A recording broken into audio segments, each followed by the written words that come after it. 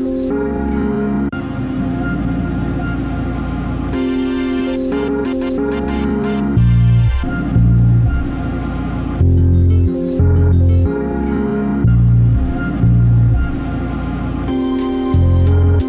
scientific studies have a bias. You got your facts, I got weight. But why if maybe a little crazy? Studying language AZ and everything between. English colonized lives, I won't settle for your dreams. Shuttle on the scene, I'm flying, I'm unidentified. Trying to give me titles, I flip the script like a Gemini. Align with the stars, yes, really I am a stronger being than Iron Man. Never mind the world, I got the iron hand. Never mind the money, you should see my palm. I could touch the world, atomic bomb style. You know life goes on, child. We've only been here for a long while. Starving and I'm walking down a long aisle. Everybody looking at me like I'm on trial. All cause my skin tone sound like wow. Sound like wow. It just sound like wow. What I it's wonder why these haters try to It just sound like wow. Wisdom of the womb in your ear right now, now. It just sound like wow. Unk on my chest, a symbol of my success. I travel through time and mind, give this body a rest. I'll shoddy the sheriff, no need to body the rest. Shells alter his chest, I'm just revolving the stress. Since we all plagued, I drop pearls of age. No equivalent wage, words stick to the pages of the sages. Written for some everyday kids. We grow old, you know they say we don't stay big. Tables turn, what's your response to how they live? It's getting late, we running out of time. Why I call it mankind if anybody gets left behind? Shout out to my mother, she's a great gift I find. All this greatness in line, sacred paradigm spinning in my mind. And it just sound like wow. It just sound like wow. These haters try to profile. Sound like wow. It just sound like wow. Wisdom of the womb in your ear right now, now. Just sound like wow. So walk 20 some grams from my sock. All I ask is please listen when I talk. I just hope to shift the coast when I drop. All I know is that the limit isn't my stop. On this road, how much collisions will I cops? Always on the mind, and if you're holding it down, pop. It can't hurt to ask right. The better man is never supposed to play the ass right. I could be the worst. I was pondering it last night. By a palm through an owl in a tree. A bit about me, not sure about what you see. I'm a real mother's son, not sure about what you be. Whatever will, I guess. On my worst day, I may reveal my best. So you can sell your soul, I will still invest. To uplift the rest who are still oppressed. Sound like wow. It just sound like wow. With what I know now, it's no wonder why these haters try to profile. Sound like wow. It just sound like wow. Wisdom the womb in your ear right now.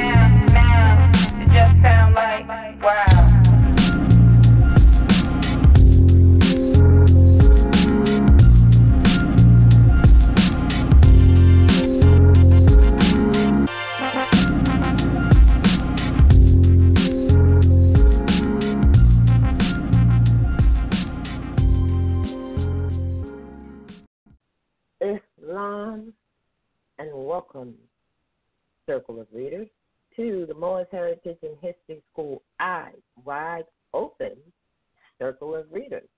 I'm RasMariah Bey, and I will be reading for you today the last two chapters of White Cargo. As you know, um, our beloved sister, uh, Sister Anaidah El, um, unfortunately had unfortunately had a fire in her home. You know, things happen in three. She lost her mother, she lost her father, and the fire. But she's fine. She's gonna be fine. If you want to give love to her, then it's through greeting or, or you know, we're not saying finances, but if that's what you want to do, whatever you want to do. Um, hold on one second. Excuse me. You can do that by sending it to the same place you send the proclamation um, paperwork, that mailing, which is 141 Weston Street, number 1145, Hartford, Connecticut 06143. That's 141 Weston Street, number 1145, Hartford, Connecticut. Now, let me just say this to. Hold on one second.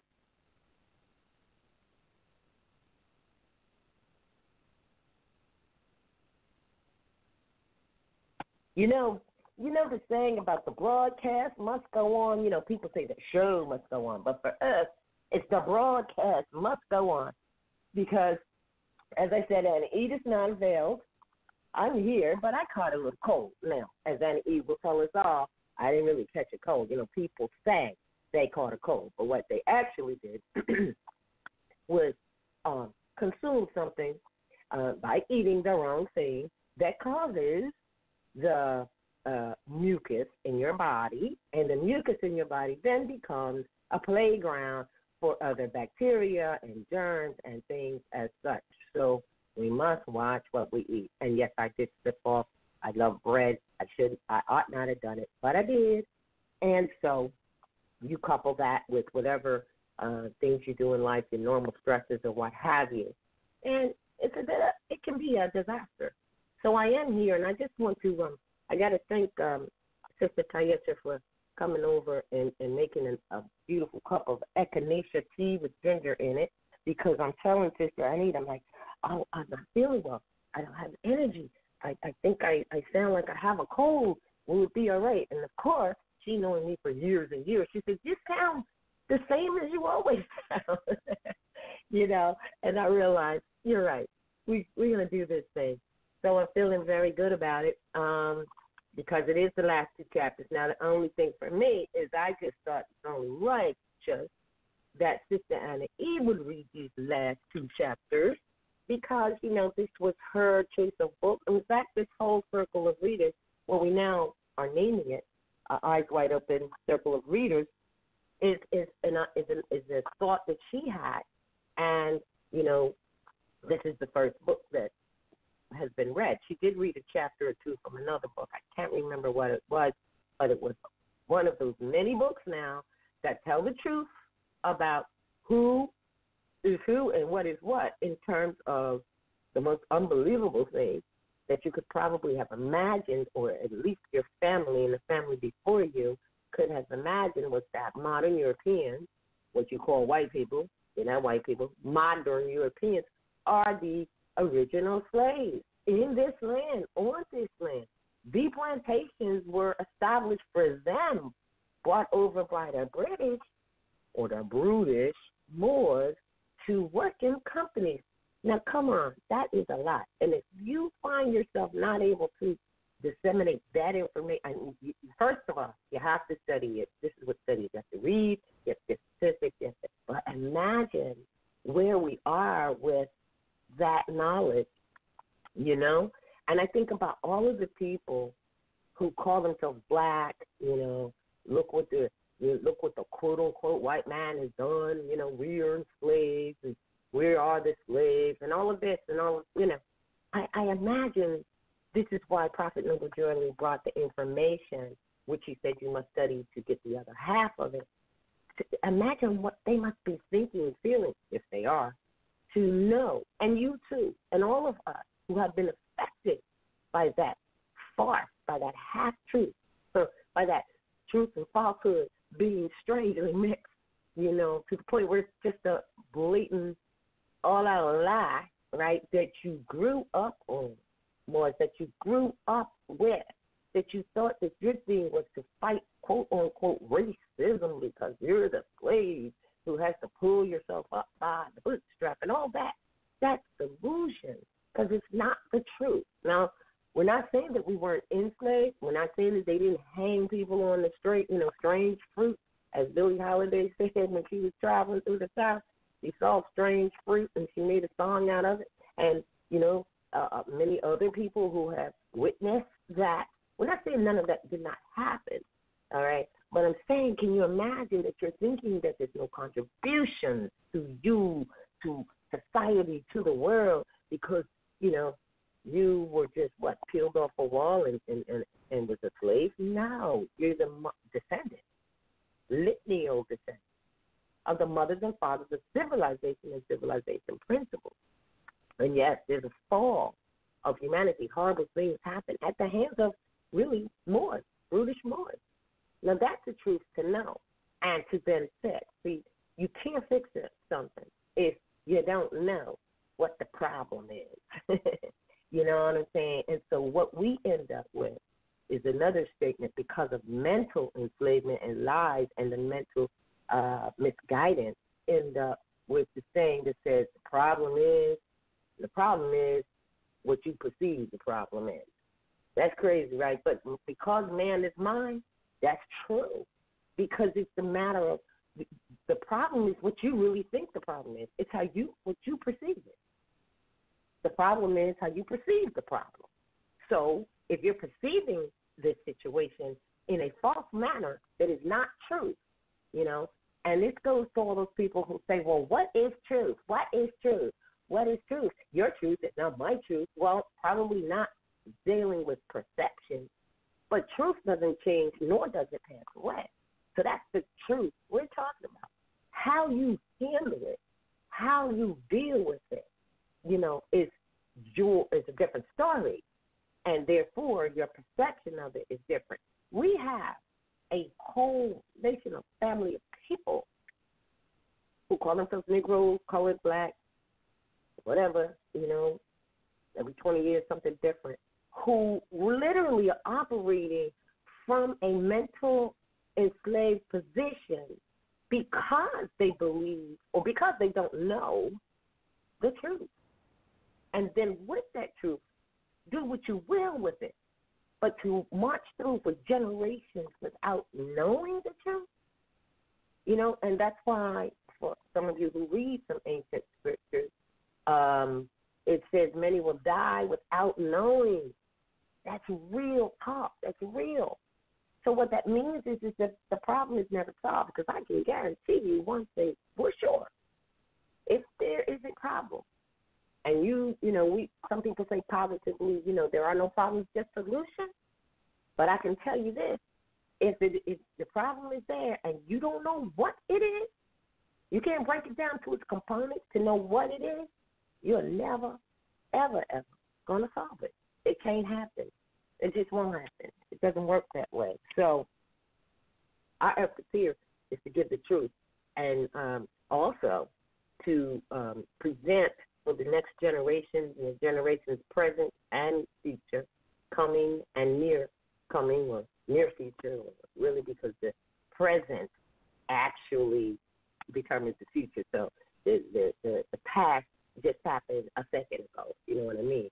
So what you do now becomes tomorrow or the next minute or what have you. So by providing and finding and sharing and knowing documented records and things like that of the truth, you know, it can prepare us for curriculum uh, for to teach our children that's coming. You know, it really is necessary. Otherwise, you'll have uh, some other um, agenda, people with other agendas to keep you suppressed, creating the curriculum every, you know, school year or what have you, which is exactly what's happening, and that's why it's become so very, very dumbed down in terms of the quote unquote public school education system. You know, uh, uh, because they there's those who are at the helm of that have a different um, agenda, always have. It's called social engineering, quite frankly. Um, and the public schools do not have an obligation to you. I know you think they do. Like, guess what? Guess what? They don't.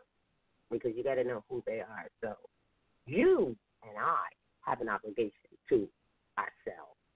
And so that's what this hopefully will do is, is to be able to lay down information to be a curriculum. Now, that means that first we have to go through, it's just like when you have a death in your family. The first thing you have is the shock, then you experience the anger. Regardless whether you're angry at the person who died, angry at the person that you think caused the death, whatever the anger is, and then it's acceptance. So right now, this is just, you know, uh, bringing in the information. It is, it, it is, it has to happen that the emotions are taken out in order to properly present a curriculum or or a body of information or what ha- or what have you desired, the the ultimate desire is that you who are listening teach your children who will not have any bias because they're only going to take in what you tell them. All right, that you that we all of us teach our children and grandchildren, etc., the truth. You know, so that they won't have any emotion about it that they feel uh, uh, uh, deceived or you know uh, fraud uh, fraud being placed upon them. They're never going to feel that because you are going to tell the truth. We are going to have curriculums to tell our children the truth and and go from there. It's that's it. So we're at a cleansing of emotion period. And this is why you have so many people getting caught up in so many things because part of it is that they're coming out of this mental slavery unprepared, absolutely unprepared. The only thing they have is the desire to quote unquote, I'll say be free because we're all born free, really. But they have this desire to express their liberty, you know, their liberties. And so they have that. They know they have that. Then they have the emotions about, you know, uh, uh, you know, finding the truth. And you mix the two, and it's volatile. So there has to be a cleansing period. And that's what's happening now. And that is predicated often and has been prophesied to be predicated by a rebellion. and that's what we're definitely seeing now is the rebellion on all levels. So keep a level head. Teach your, give your children the maximum, the maxims of truth so that they can have a level head. About that? and don't and, and sidestep, you know, the resistance and the rebellion that you spend your time indoors studying might be a good idea. What do you think? So with that being said, we are going to um, we are going to begin the reading, and I trust that um, our avid readers are listening and, and, and those who get involved they know who they are. Uh, Asim and Bakari, um, because uh, again, this is the last chapter, so we're gonna make these last two chapters great for for um for the ending of this particular book for our sister Anaidah El in honor of her entire idea. I know she has another book that's gonna come next, but I'm not sure what that is, so I'll let her do the honors of mentioning that when we hear from her. All right. So with that being said, the last chapter is, I mean, the next to the last chapter, because it's up there is only two, is chapter 18, which is a nine, by the way, for you numerologists, means completion. This is called, how about this? It's entitled His Majesty's Seven Year Passengers. Wow. Now, hold on a moment, I guess. Just gotta, I really gotta just take a sip of this wonderful ginger and echinacea tea that Ashley made for me. Thank you again, sister. She's on the way, but came over to do that, so she, thank you. All right. His Majesty's seven-year passengers. on, this, on 23rd December 1769, the Virginia Gazette carried extracts of a letter from a gentleman in Boston to a friend in London. Heavy with irony, it made a point about slavery. All the provinces, the common cry is liberty and independence. Virginia and Maryland, with some reason, form a pretentious a pretension to independency. The bulk of the inhabitants or their progenitors forfeited their rights as subjects in England and were banished to America to expiate the crime they had committed in Europe. They suffered after their immigration for seven, 14 years, or their life. One of the two. Oh, hold on, everyone. I know we just started the paragraph, but I just got a note from Sister Anna E. who obviously, of course, is listening, and she said the next book is going to be They Were White and They Were Slaves. All right. Woo. They were white and they were slaves. Now, let me just say this. That's great because that's a heck of a title. They were white and they were slaves.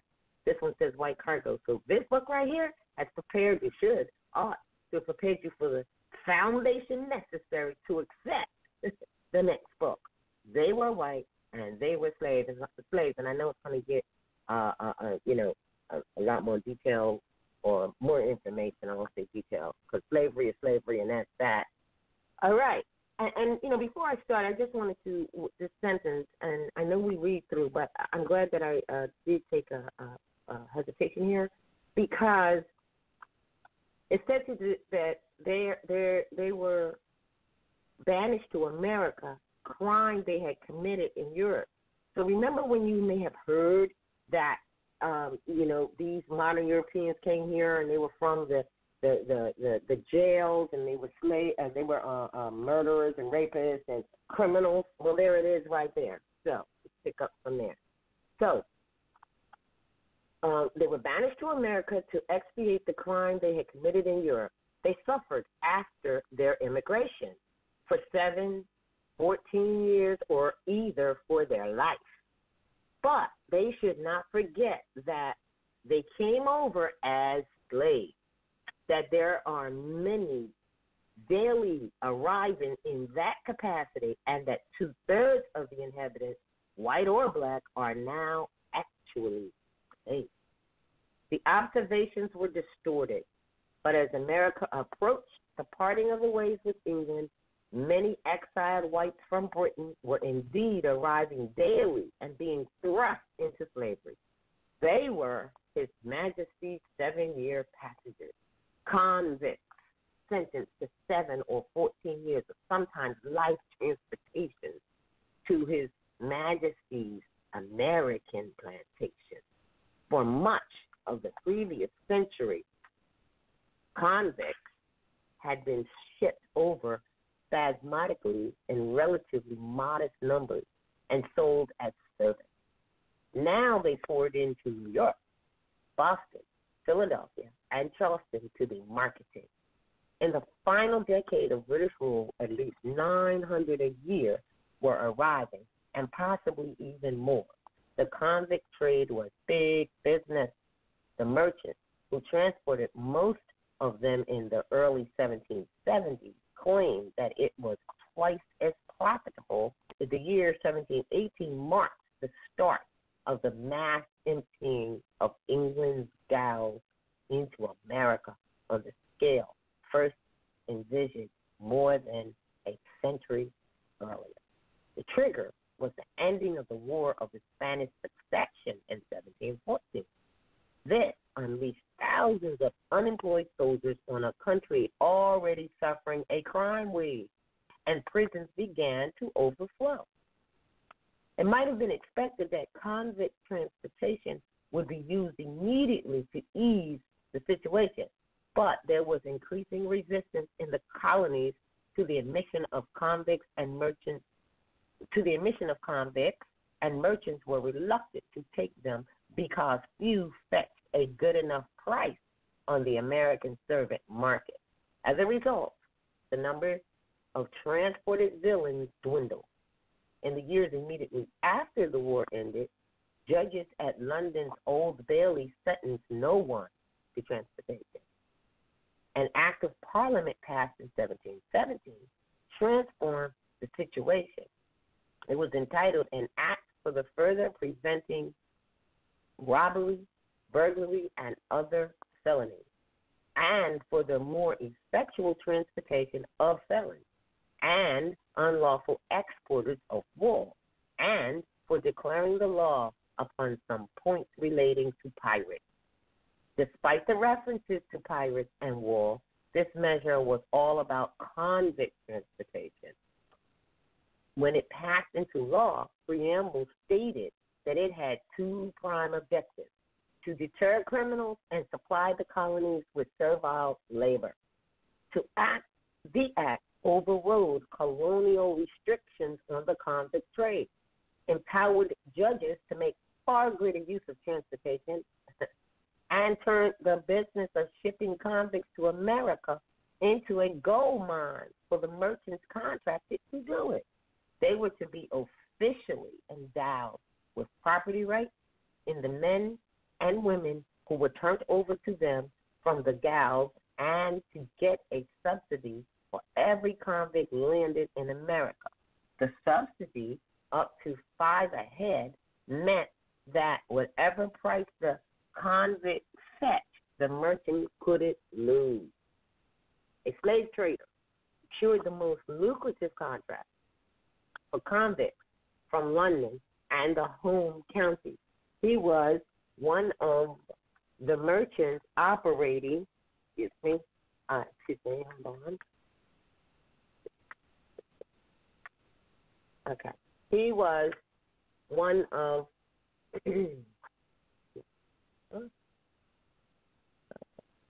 uh, one of the merchants offered. This is uh, Jonathan Forward. Okay, uh, secured the most lucrative contract for convicts from London and the home county. He was one of the merchants operating on the notorious triangular route, taking English manufacturers to West Africa, where he acquired shiploads of slaves, whom he then shipped to the New World, where he was paid, where he was paid for his human cargo in sugar or in tobacco. On the last leg, he shipped these commodities home. Forward offered to take convicts for a subsidy of $3 a head, which undercut the opposition substantially. I believe there's three liras. That's where there's an L in it, but I'm mistaken. That won him the contract, but it was a law leader. Soon after the first shipments of English villainy, Forward secured a huge increase in the subsidy to $5 per convict. The sentencing formula had been devised in Ireland and had been in, uh, in operation there for some 15 years. Under an act passed by the Irish Parliament in 1703, courts were authorized to commute the minor offenses to a sentence of transportation for seven or 14 years or sometimes life. Those guilty of stealing one cow, but not two, qualified as well as those guilty of stealing nine, but not ten, sheep, and those who had stolen other property, uh, uh, uh, qualified well as those guilty of stealing nine, but not ten sheep, and those who had stolen other property worth less than 20 shillings. shillings.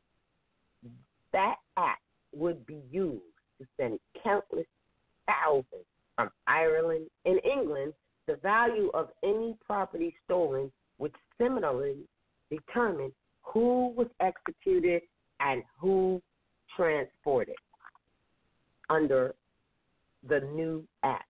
Here, too, the sentences available were seven or 14 years or life.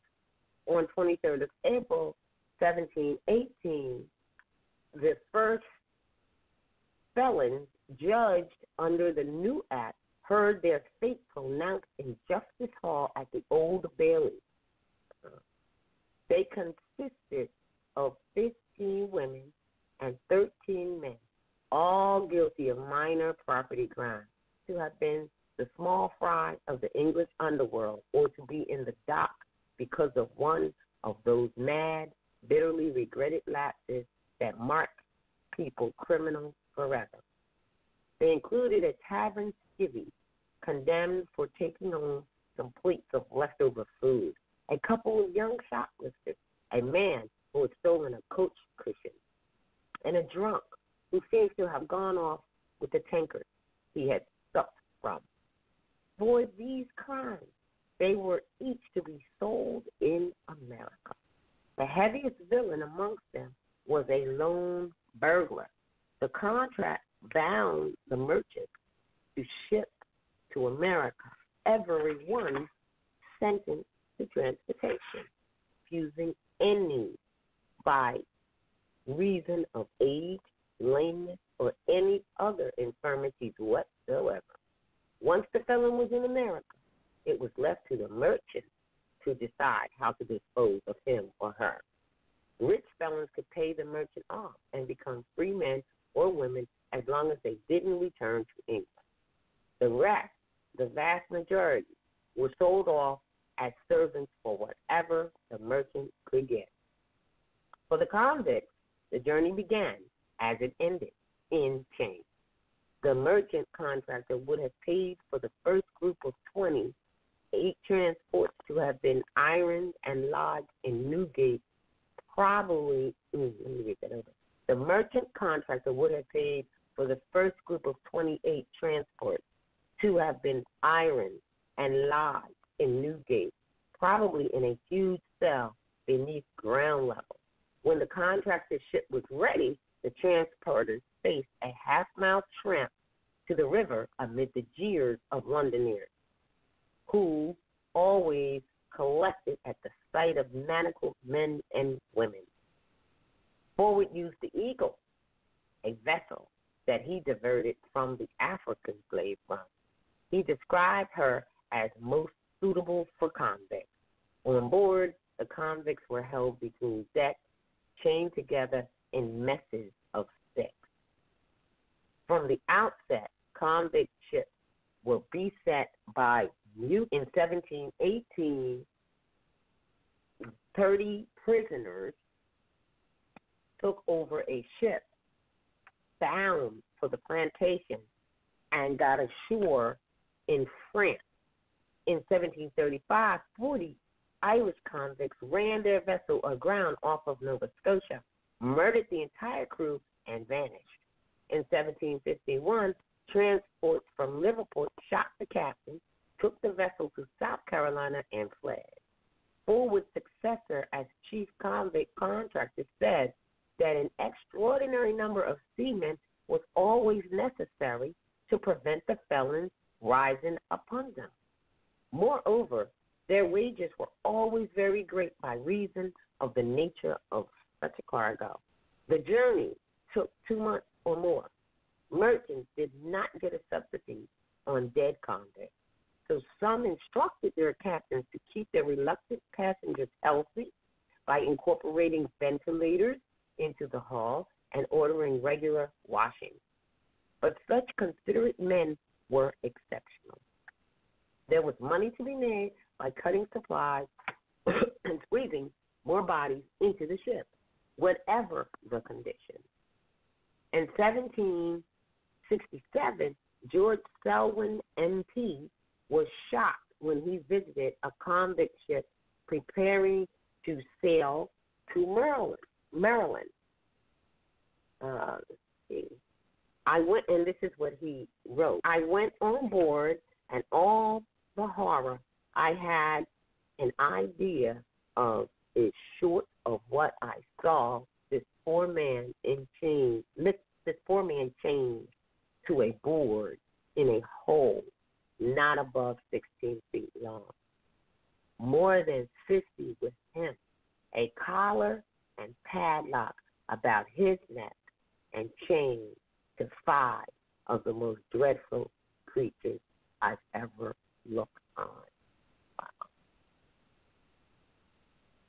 In the early part of the century, dysentery, smallpox, freezing temperatures, and typhoid carried off as many as one in three incoming convicts.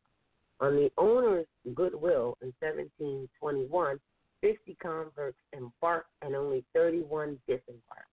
On the Rappahannock in 1726, there were only 60 survivors out of 108 who embarked. On the Forward in 1728, 96 embarked and 27 of them perished. Such appalling losses in human life were not confined to convict ships. The voyage of the Seaflower is among the most poignant of all the stories. On 31st of July, 1741, the Seaflower put out of Belfast bound for Philadelphia with 106 passengers. She encountered heavy weather, sprang her mast, and was then becalmed for several weeks. Supplies of food ran out, and crew and passengers began to die. By the time she made Boston on 31st October, 13 weeks after starting out, 64 were dead, including the captain. Six of the dead had been eaten by the survivors. Among the convict carriers, some captains were notorious for their greed and sadism. One was Barnett Bond, the master of the Just, Justitia, a merchant who employed Bond was so furious at the loss of human life and his profits that he sued Bond for murder. The captain was alleged to have cut convicts, water rations, and literally watched them die of thirst, though there was plenty of water aboard. He then grabbed anything of value the dead had been carrying. A witness, said Bond, declared himself heir to all the felons who should die under his care.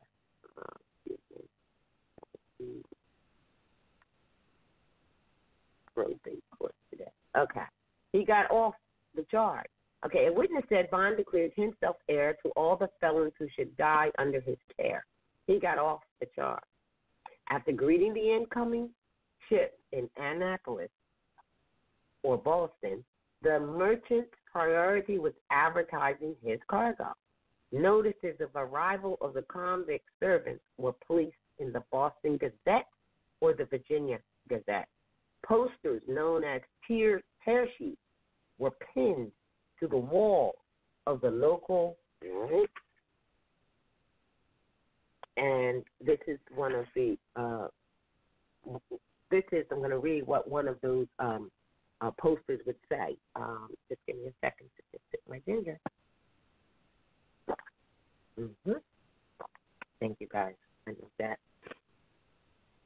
This is what the posters would say that were pinned to the coffee houses.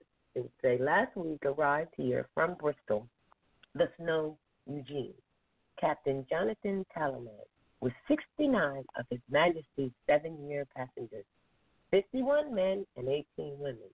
Just imported from Bristol in the ship Randolph, Captain John Weber Price 115 convicts, men, women, and lads, among whom are several tradesmen who are to be sold on board the said ship, now in Annapolis dock, this day, tomorrow, and Saturday next. So one advertisement notifying a sale of newly arrived servants gave pride of place to others, presumably more desirable goods.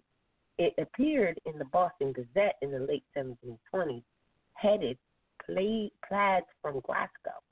The text read, plaids of sundry sorts, both fine and ordinary, choice linens of several sorts, bed chickens, bed chickens, handkerchiefs, and muslins, not muslins, muslins, um, with some young men and women's time of service. Would be buyers examine the human merchandise, paying minute, minute attention to every limb and tooth. The convicts were, in a real sense, perishable goods.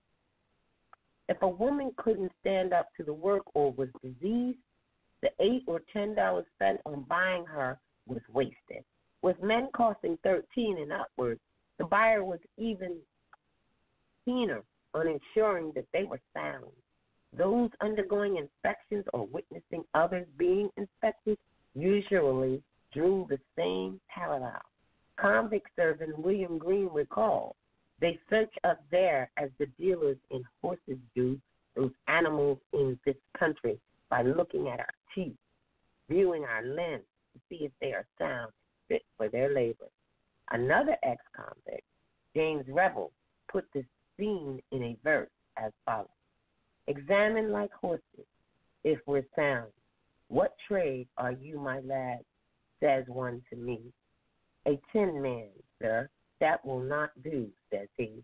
Some felt our hands and fused our legs and feet and made us walk to see if we were complete. Some viewed our teeth to see if we were good or fit to chew our hard and homely food.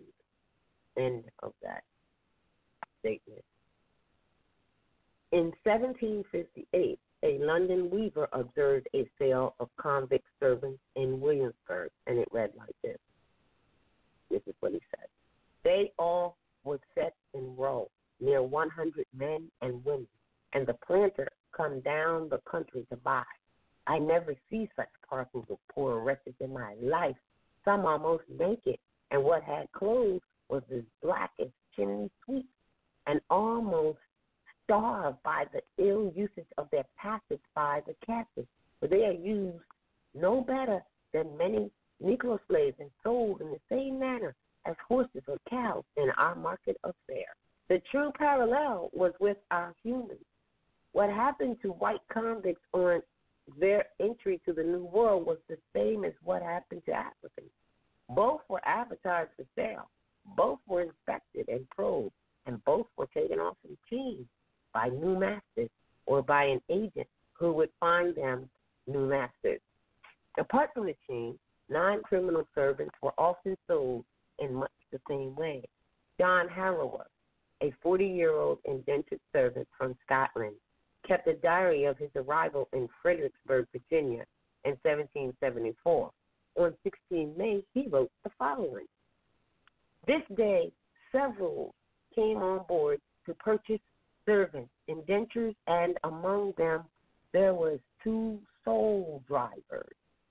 They are men who make it their business to go on board all ships who have in either servants or convicts and buy sometimes the whole and sometimes a parcel of them as they can agree. And then they drive them through the country like a parcel of sheep until they can sell them to advantage. But all went away without buying any. End that quote. The mainland colonies tried to block the resumption of convict sales they couldn't overturn a British law, but they could sabotage it. Maryland took the lead, and in 1719, it enacted a law requiring everyone buying convicts to lodge a good behavior bond of $100 per convict. The Privy Council squashed this wrecking move inside two months. Virginia's burgesses attempted similar tax. They ordered ship captains to give a security of 100 for each convict sold and buyers to lodge a $10 bond for their purchases good behavior, for the purchases good behavior. This too was vetoed by the Privy Council. So Virginia's leaders temporized, arguing that if convicts must come, they should be settled on the western frontier the merchant Joshua Gee proposed giving them frontier land and using them as bulwark against Native Americans. The influential Reverend Hugh Jones suggested workhouses for them on the frontier where they could work and become self sufficient. None of it came to anything, and convicts poured in. The vast majority went to the Chesapeake provinces followed a long way behind by Pennsylvania. Many of these unwilling immigrants were immediately thrust into heavy labor on the plantation, in mining, forestry, and industry. Others, the skilled amongst the convicts, were brought to be assistants in shops, printing work, and a hundred different small enterprises. According to a convict agent from Baltimore, Maryland, alone absorbed some 600 convicts a year for decades after decades. The province's governor, Horatio Sharpe, commented, I could heartily wish that they, convicts, were sent to any other part of His Majesty's plantation, but while we purchase them, they will send them. Quite simply, thanks to the subsidy, convicts were cheap labor and too good a bargain to miss.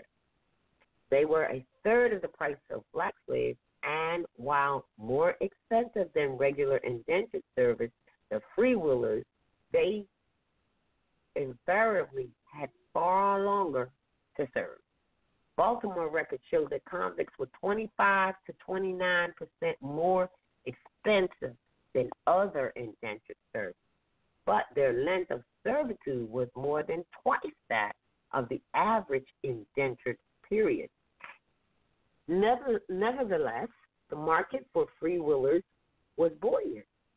Fewer were arriving from England, where the economy was picking, but many more were coming from Ireland and Scotland, where poverty and want were widespread. The nature of the exodus from Ireland in the 18th century differed significantly from what had preceded it. In the 1600s, people were forcibly transported, mainly to clear the land of its Catholic population to make way for Protestant English and Scots. Now, in the 1700s, punishment and poverty were the two driving forces. Ireland contributed convicts and free willers, as was happening to people up and down the line. The Irish were the target of the hard sell on the wonders of life in the New World. Merchants stolen America were passed hand to hand. The Dublin Weekly Journal, for instance, carried an advert in January 1735 week, offering Irish Protestant immigrants to New York a special deal. Land purchased from the Mohawk Indians could be rented by them for one shilling and nine pence farthing per hundred acres. Then there was a widely circulated letter that was purportedly written to a county Tyrone clergyman extolling the money making merits of New York. It was written phonetically in a Scots dialect. If your son Samuel and John Boyd Wad but come here, they wad get more money in an year for teaching in a Latin school, nor yourself wad get for three years preaching where you are. Where you are. uh, the letter described the Bonnie country, then gave the very high wages, wage rates for various trades and the very low price of land, and urged, I beg all ye all to come here. The letter was signed James Murray, but was most probably a fake, a piece of propaganda got up by planters or shipping agents. But the propaganda worked. In 1728, the head of the Anglican Church in Ireland, Archbishop Boulter, complained that canvassing by American agents had persuaded large numbers to emigrate, deluded with stories of great plenty and estate to be had for going for going for in these parts of the world. He continued, there are now seven ships at Belfast that are carrying off 1,000 passengers hither. However, the Archbishop then put his finger on what was really sending so many across the ocean dire poverty. Referring to the Belfast migrants, he added as follows If we knew how to stop them, as most of them can neither get victuals nor work at home, it would be cruel to do that.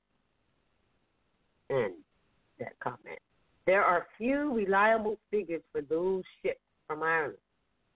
However, it is as convicts were deported between 1718 and 1775. In the 1740s, the Irish Parliament commissioned a report uh, into the dep- deportations of felons and vagabonds. The suspicion was that merchants engaged to transport the convicts were taking their subsidies and dumping their cargoes in England. Okay. In England, Wales, or even somewhere else in Ireland. This investigation got nowhere, and the records that exist provide only snapshots of the Irish convict trade. What there is, however, tends to confirm that it was considerable. For example, over just two days in September 1766, 17 women and 1992 men, all evidently felons, were indentured before the Lord Mayor of Dublin prior to transportation. The practice of taking immigrants, free willers, or criminals before the mayor had been established in an attempt to stamp out kidnapping and false indenturing. They were then taken in 15 carts from prison to Sir John Rogerson's quay, where they were put on board the Hicks from Whitehaven, bound for His Majesty's plantations in America. There were brief moments of comedy in the convict deportations from Ireland. The Dublin Mercury for 9, 9th to the 13th of June in 1767 ran this story about a transported felon, reading as follows. Among the unfortunate transport shipped out last Monday was one poor fellow who, being skilled in modern fashions of hairdressing, had unluckily made too free with some of his employer's trinkets. One thing he proposed to himself might be a useful introduction to his being employed by the ladies in America, who will, like the ladies of their sister kingdoms, not be outdone in mode of fashion. In that comment. By now, large scale uses of of labor, ranging from Virginia's great planters to the first generations of industrialists, were all turning to Africa as a major source of slaves. But they remained in the market for convicts and free willers, will, willers, in what was still a transitional period in racial segregation. They had no qualms about using mixed race labor gangs the picture of black slaves existing alone at the bottom of the heap does not hold. For a long time, white servants were with them at the bottom and treated with equal inhumanity. Indeed, there are indications from various sources that whites were in some cases treated worse than blacks. It was William William E. Eddis, England's England's customs surveyor in Annapolis, who reckoned that African slaves were better treated than Europeans on the plantations because they were more valuable. A lifelong property, whereas European slaves mostly, excuse me, but they were more valuable and a lifelong property, whereas European servants mostly had a term to their service. Planters exercised an inflexible severity over white servants, he said. Um, generally, speaking, they groaned beneath a worse than Egyptian bond. In fact, nothing suffered by whites equated with the most unspeakable cases of cruelty to blacks. Whites were never limbed nor castrated. Nevertheless, the death rate suggests that Eddis was broadly right about their treatment. 50% of convict servants were dead inside seven years. Tidewater aristocrats who came to be so completely identified as African American slave owners were among those who bought convicts. 18 year old petty theft John Lawson was acquired by one of them. According to his own account, he was bought on the quayside by a planter from Rappahannock and slaved for 14 years. Lawson was in a plantation labor gang of 24. 18 of them were Africans and six were Europeans. According to Lawson, his treatment was indistinguishable from that meted out to the Africans. They were chained together. They lived together. They slept together. They worked together. And they were together. White slavery wasn't confined to rural America.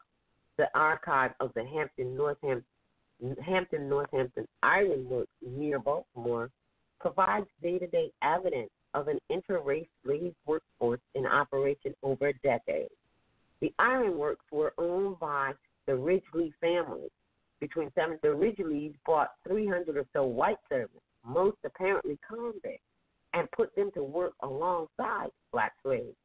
Professor R. Kent Lancaster researched the archive and emerged with a picture of endless sweat and harsh discipline.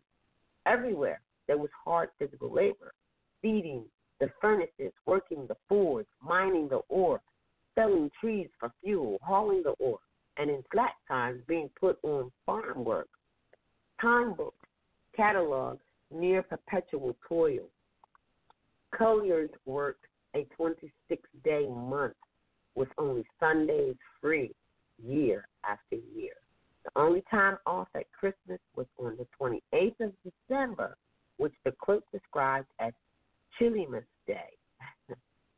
Chilimus Day. Indentured servants were exploitable for a limited time only, and that time could not be wasted on the niceties of holidays.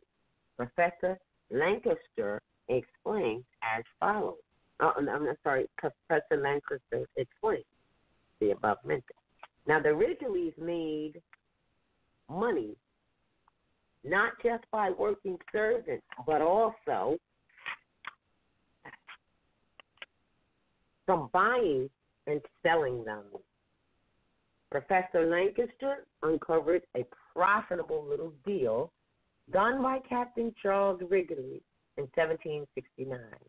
He bought 11 men for $12 each and nine women at $9 each. Within two months, he had sold seven of the women for between 10 and 15 a head, and eight or nine men for between 17 and 30 a head. Men and women continually tried to escape. A document dated 1772 and headed Description of White Workers contained the profiles of 88 men and women laborers and had been for use if, or rather when, they escape. When a man called Francis Barrett vanished in the summer of 1775, Captain Ridgely used his profile. Oh, excuse me, I got to write down the word profile because that's what's happening now. Okay, used his profile in the description file for a runaway notice in the Maryland Gazette. This described Barrett and noted that he had also an iron collar on. The collar was apparently fitted after a previous escape attempt and left on to facilitate his return to the furnace site. The servant's legal right to take grievances to court is revealed as virtually worthless. Time and again, over 50 years, Ridgely, servant, went to court, usually claiming they were being held beyond their time. And there is only a single instance of the court finding an against the company. Moreover, every unsuccessful servant litigant found him or herself listed as a runaway and penalized, very probable, probably by serving extra time. Giveaway references to neck rings, iron collars, a company jail, and whipping appeared in the archives. There was also a letter from an English doctor denouncing the Ridgelys for cruelty to their servants. The Ridgelys were typical judging from David Wildstriker, Waldstreicher's excuse studied runaway study of runaway America.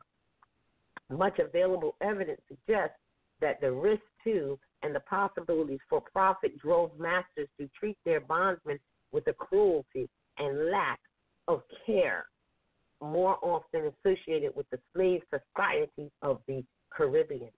One of the justifications of earlier English moves to dump the unwanted in America was redemption of their souls. Mm. Wait a minute, let me read that again. One of the justifications of earlier English moves to dump the unwanted in America was redemption of their souls. The idea of villains finding their salvation in the tough climes of Virginia was voiced by Sir Humphrey Gilbert, James I, John Donne, and a galaxy of others.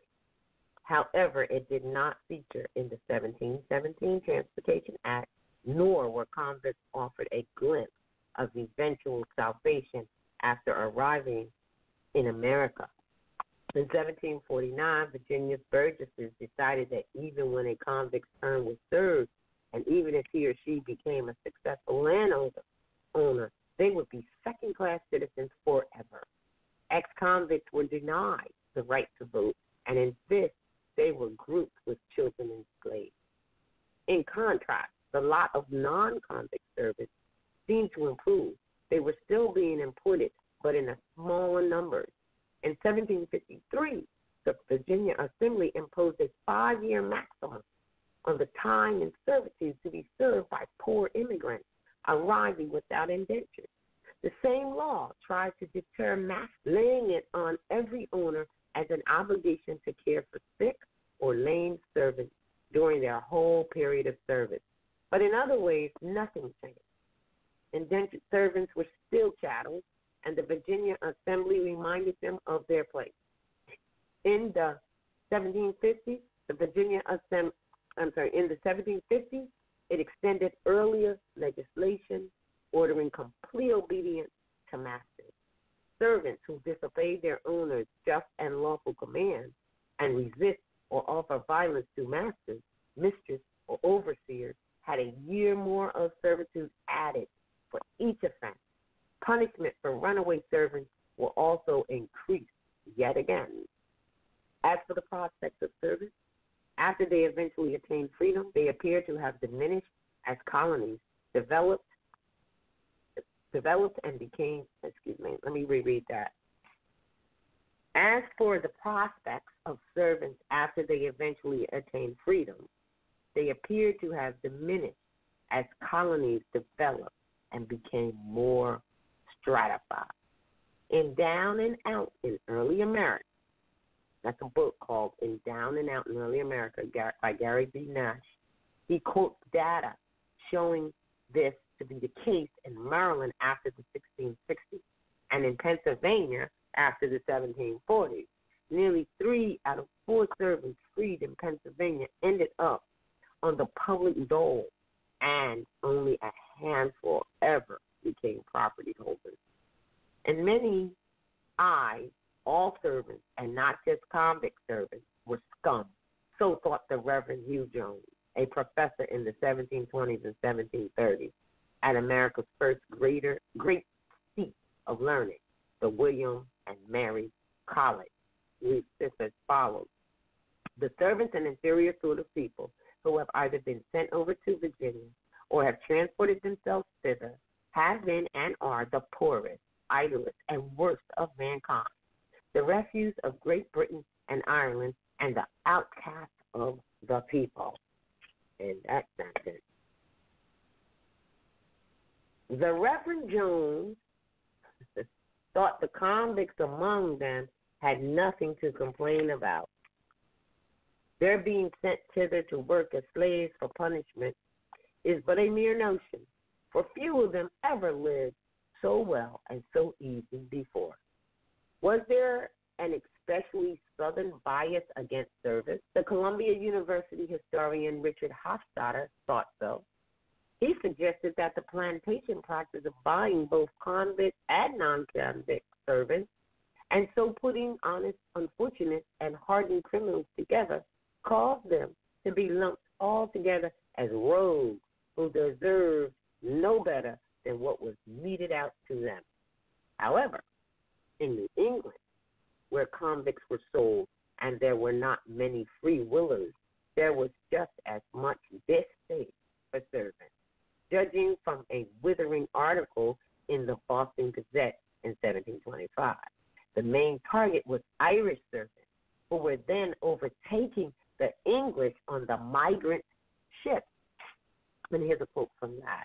The masters of servants going to Ireland, knowing the great want of servants here, pick up all the vagabonds they can find to make a cargo. Fellows and wenches brought up to no other employment than the picking of St. Patrick's vermin and driving them out of their stronghold. They serve us for no other purposes than to plague their masters and mistresses and to debauch their children. This gives us an ill opinion of foreigners, especially those coming from Ireland, when the truth of it is the best of them stay at home and generally the very scum of the nation, both freemen and servants, servants visit the plantation. End quote.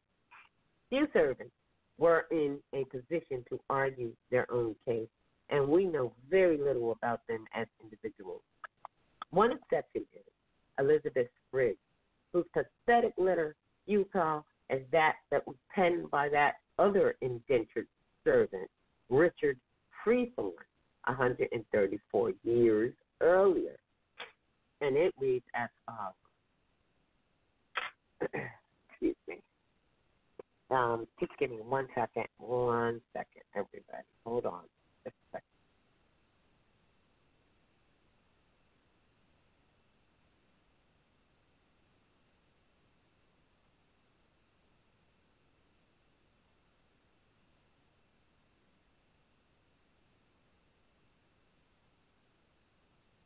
All right, I had to get straight and I had to take a sip of my precious echinacea and ginger tea. So I'm good now. All right. So we are at the point where we're reading a letter. Um, uh, okay, let me. Few servants were in a position to argue their own case, and we know very little about them as individuals.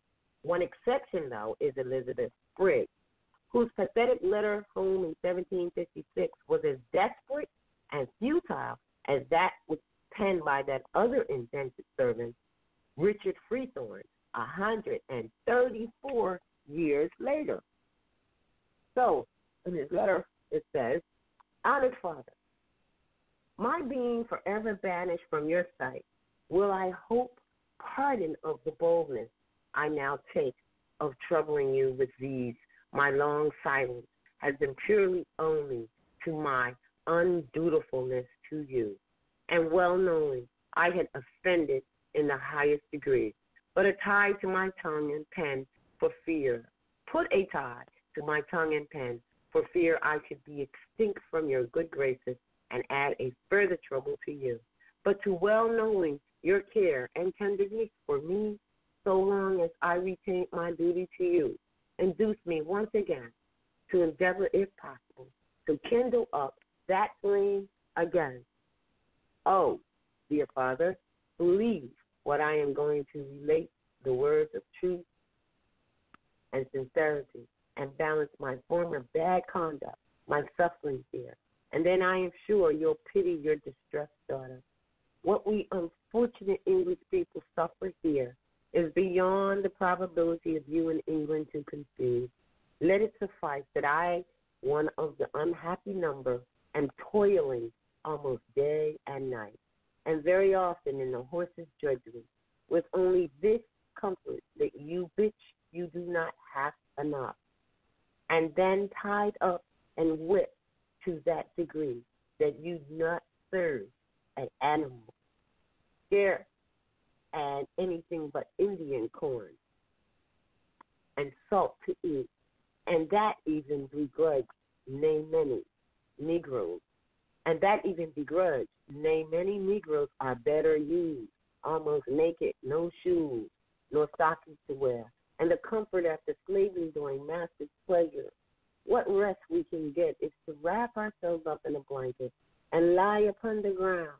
This is the deplorable condition your poor Betty endured.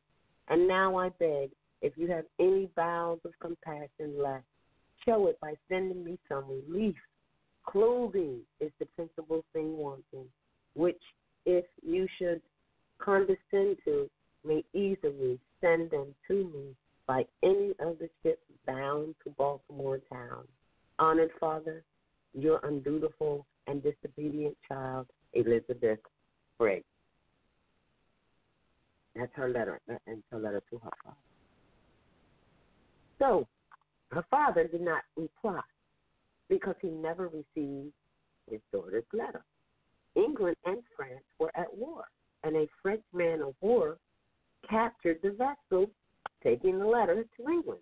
Then the Royal Navy, Navy ca- captured the Frenchman, and all the paperwork it carried was sent to the Admiralty. Elizabeth Spriggs' letter lay in the Admiralty vault unread for 300 years. We can only speculate the young woman's fate. There is an amazing resource that tells us a lot more about the 18th century servants. It is the hundreds of runaway ads placed in the colonial press by masters hunting escaped servants. In the 19th century, the quarry was the runaway black slave in much of the 18th century, the runaway was more likely to be white. There is no more vivid an insight into this class of people than the wanted notices that were posted by their masters. The selection below is from the Maryland Gazette, the Virginia Gazette, and the Pennsylvania Gazette. It covers regular indentured servants and convict servants. There were always many Irish amongst the escapers. All right, hold on, read that. Pound. Now, 20 pounds. How interesting. Remember earlier when I was reading, I told you that the L was a lira, but it's actually a pound, that little L sign. 20 pounds reward.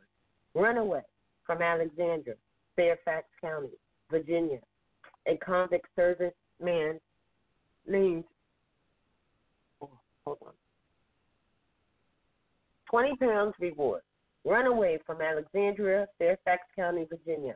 A convict servant man named John Murphy, born in Ireland, about 28 years of age. By trade, a joiner, a low set fella, about five four, five feet four inches high, strut in his walk, has a pale complexion, large black beard and eyebrows, wide mouth, and pleasant countenance. Sings extraordinarily well, having followed it in the playhouses in London, talked proper English, talked proper English, and and that in a polite manner. It is imagined he has forged a path and likely will deny his name, trade, and place of nativity. NB. All masters of vessels are forbid to take him off at their peril. And that was August 1760. Runaway, here's another one. Runaway from the subscriber living in Lancaster, a native Irish servant woman named Katie Norton, who came from the county of Wicklow in Ireland last fall. She is about 25 or 26 years of age, of a dark complexion, has black hair, talks in the Irish dialect, rocks in her walk, and is pretty sharp in talking. She is a cunning hussy and no doubt will pass a while for an honest woman, as she has good clothes with her and can behave herself. Whoever takes up said woman and brings her to the subscriber in Lancaster shall have three pounds reward and reasonable charges paid by me, Robert Fulton. That's July 1763. Big. Okay, that is okay. There were many English-born runaways too. So we just talked about the Irish one. Now, there were many English-born runaways too, including one who presumably had something on her master. and it reads as follows. Runaway last night from the workhouse in Chester. A servant girl that belonged to Thomas Blair in West New Jersey. She was advertised some time ago in this Gazette by the name of Elizabeth Burke, but changes her name often. She's about 18 years of age, of small stature, dark complexion, and speaks much through her nose. Had on a blue calamanco gown, striped linsey petticoat, and a black silk bonnet. Was barefooted, four pounds reward and reasonable charges.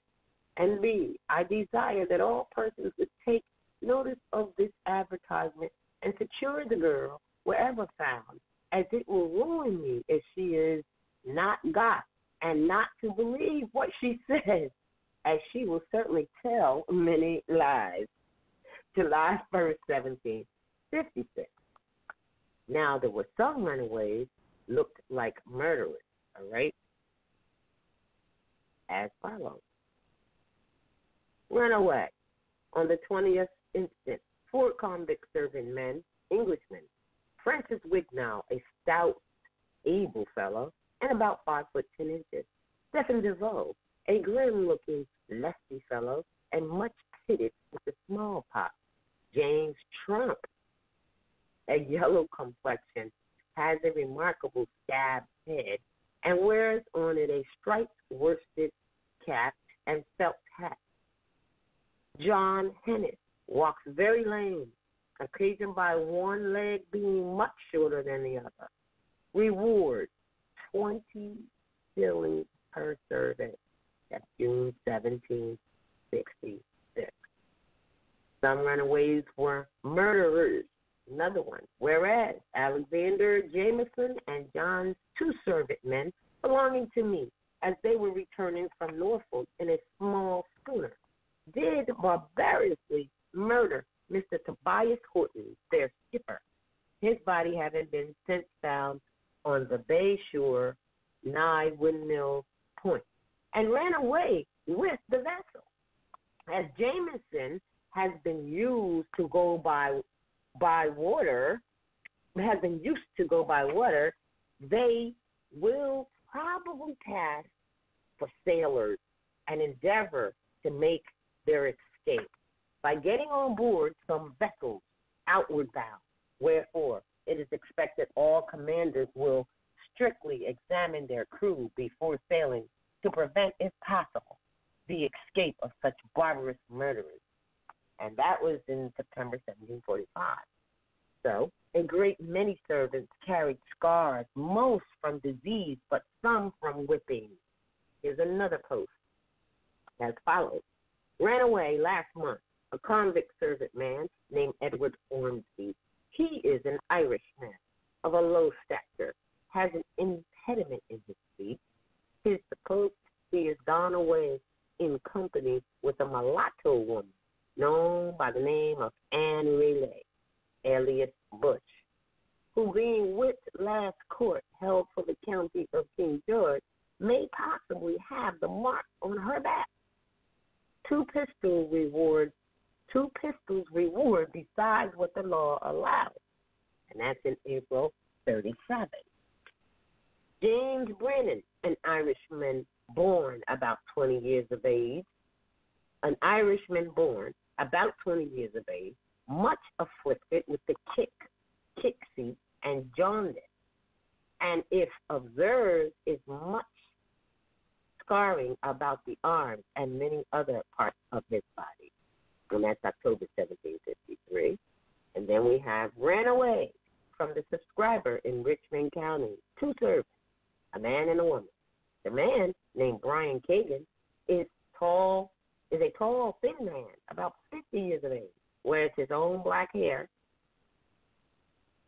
I'm sorry, wears his wears his own black hair. That's what it says. Had on when he went away a dark brown coat, a blue great great coat, and a pair of blue plush breeches.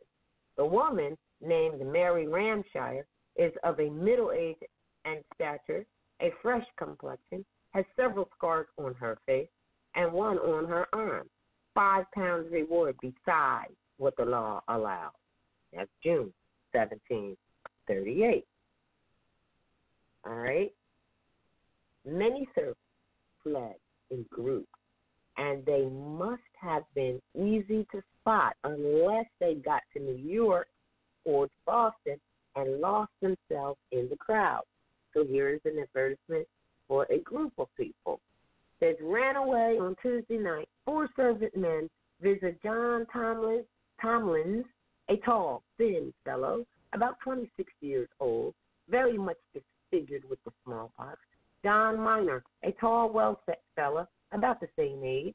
He had on a light, drab coat and breeches with a white wig.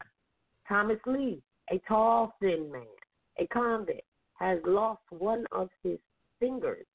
George Berry, a lad about 16 or 17 years of age, a convict.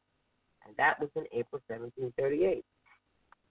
So frequently, such advertisements featured black slaves and white servants who, as in the 1600s, were still fighting back together, often by running away together. Here's an advertisement for that. Ran away on Saturday, the 15th instant, at night, from Mr. Humphrey Brooke in King William County. A servant man named John Harris, a Welshman, a Negro man named Abraham, belonging to Colonel George Braxton, and a Negro man named Windsor, belonging to the subscriber. The Negroes are both Virginia born and are sensible fellows. They went away by water and to suppose will endeavor for Carolina, the eastern shore, or up the bay. July 1738. Runaway, a Negro man named Temple, about 35 years old, well set, about 5 to 6 inches high, has about 5 feet 6 inches high, has a high forehead and thick bushy beard. He took a, a gun with him, likewise run away. two indented servants imported from London last September. There's John Wayne, age 22 years, about 5 feet 4 inches high, round shouldered, stoops pretty much in his walk, has a down look, and understands plowing. William Cantwell of Warwickshire, aged 19, about the same height and stoops a little. And that's in May 1766. Some of the runaways appear to have been lovers who, of course, faced a year or two extra service if they were ever caught in the act by their masters. Run away. A servant named Nathaniel McDowell, about 30 years of age, wears his own black hair, round face, and rough features. As it is known, an intimate between him and a neighboring woman, the wife of Alexander Logan, who left her husband about the same time and took her child with her, a promising boy, six years old, with white hair. It is thought they are gone together and that they will go to Philadelphia. Three pounds reward, May 1763. Run away, ran away, sorry, a servant man named Patrick Flood. He is a pretty tall, lusty fellow of a black, swarthy complexion. He took with him a young bay mare with a star in her forehead and one white foot. He went in company with one Sarah Carroll, who formerly traveled to Carolina, where they are both suspected to be gone. She is a tall, slender woman with a wry look and a swarthy complexion. Four pistols reward, March 1738. Next, five pistols reward ran away from the subscriber in Fairfax County, an English indented servant woman named Elizabeth Bishop, about 23 years of age, of a low stature, fair skin, black eyes, black hair, a scar on her breast, and loves drink. It is suspected she was carried away by Captain Tipple's boatswain from Potomac, from the Potomac River to Patuxent, where the ship lies, or that he has left her at the mouth of the river. Whoever takes up the said servant and brings her to her master shall have five pistols reward, besides what the law allows, and five pistols more if it can be proved that the said boatswain concealed her. November 1745. Of all the escapees, the most spectacular was surely Sarah Wilson, a servant to one of the Queen's maids of honor. She was arrested in London in 1771 after the disappearance of some of the Queen's jewels, and she was transported to Maryland. The London magazine reported that on land she was exposed to sale and purchase. Uh, I mean, I'm sorry. The London magazine reported that on landing she was exposed to sale and purchase, but escaped. Wilson assumed assumed the title of the Princess Stefana Carolina Matilda, non existent to the Queen. And in a whirlwind tour of the Eastern Seaboard conned colonial American society, the London magazine told the story as follows. He traveled from one gentleman's house to another under these pretensions, making astonishing impressions in many places, affecting the mode of royalty so inimitably that many had the honor to kiss her hand. To some, she promised government, to others, regiment, with promotions of all kinds in the Treasury, Army, and the Royal Navy. At length, however, an advertisement appeared and a messenger arrived from her master who raised a loud hue and cry for her serene highness. So the game was up. She was caught in Charleston, and one of the history's more colorful impostors was dragged back to the man who bought her. He was forced to serve for another two years. Hostility to convict servants grew as more and more were imported and crime levels increased. The Virginia Gazette complained in 1751 as follows When we see our papers filled continually with accounts of the most audacious robberies, the most cruel murders, and infinite other villain, villainies perpetrated by convicts transported from Europe, what melancholy, what terrible reflections it must occasion. What will become of our posterity? These are some of thy favors, Britain. Thou art called our mother country. But what good mother ever sent thieves and villains to accompany her children, to corrupt some with their incestuous vices and murder the rest? What father ever endeavored to spread a plague in his family? And what can Britain show a more sovereign contempt for us than by emptying their jails into our settlements? Unless they would likewise empty their jakes privy on our tables.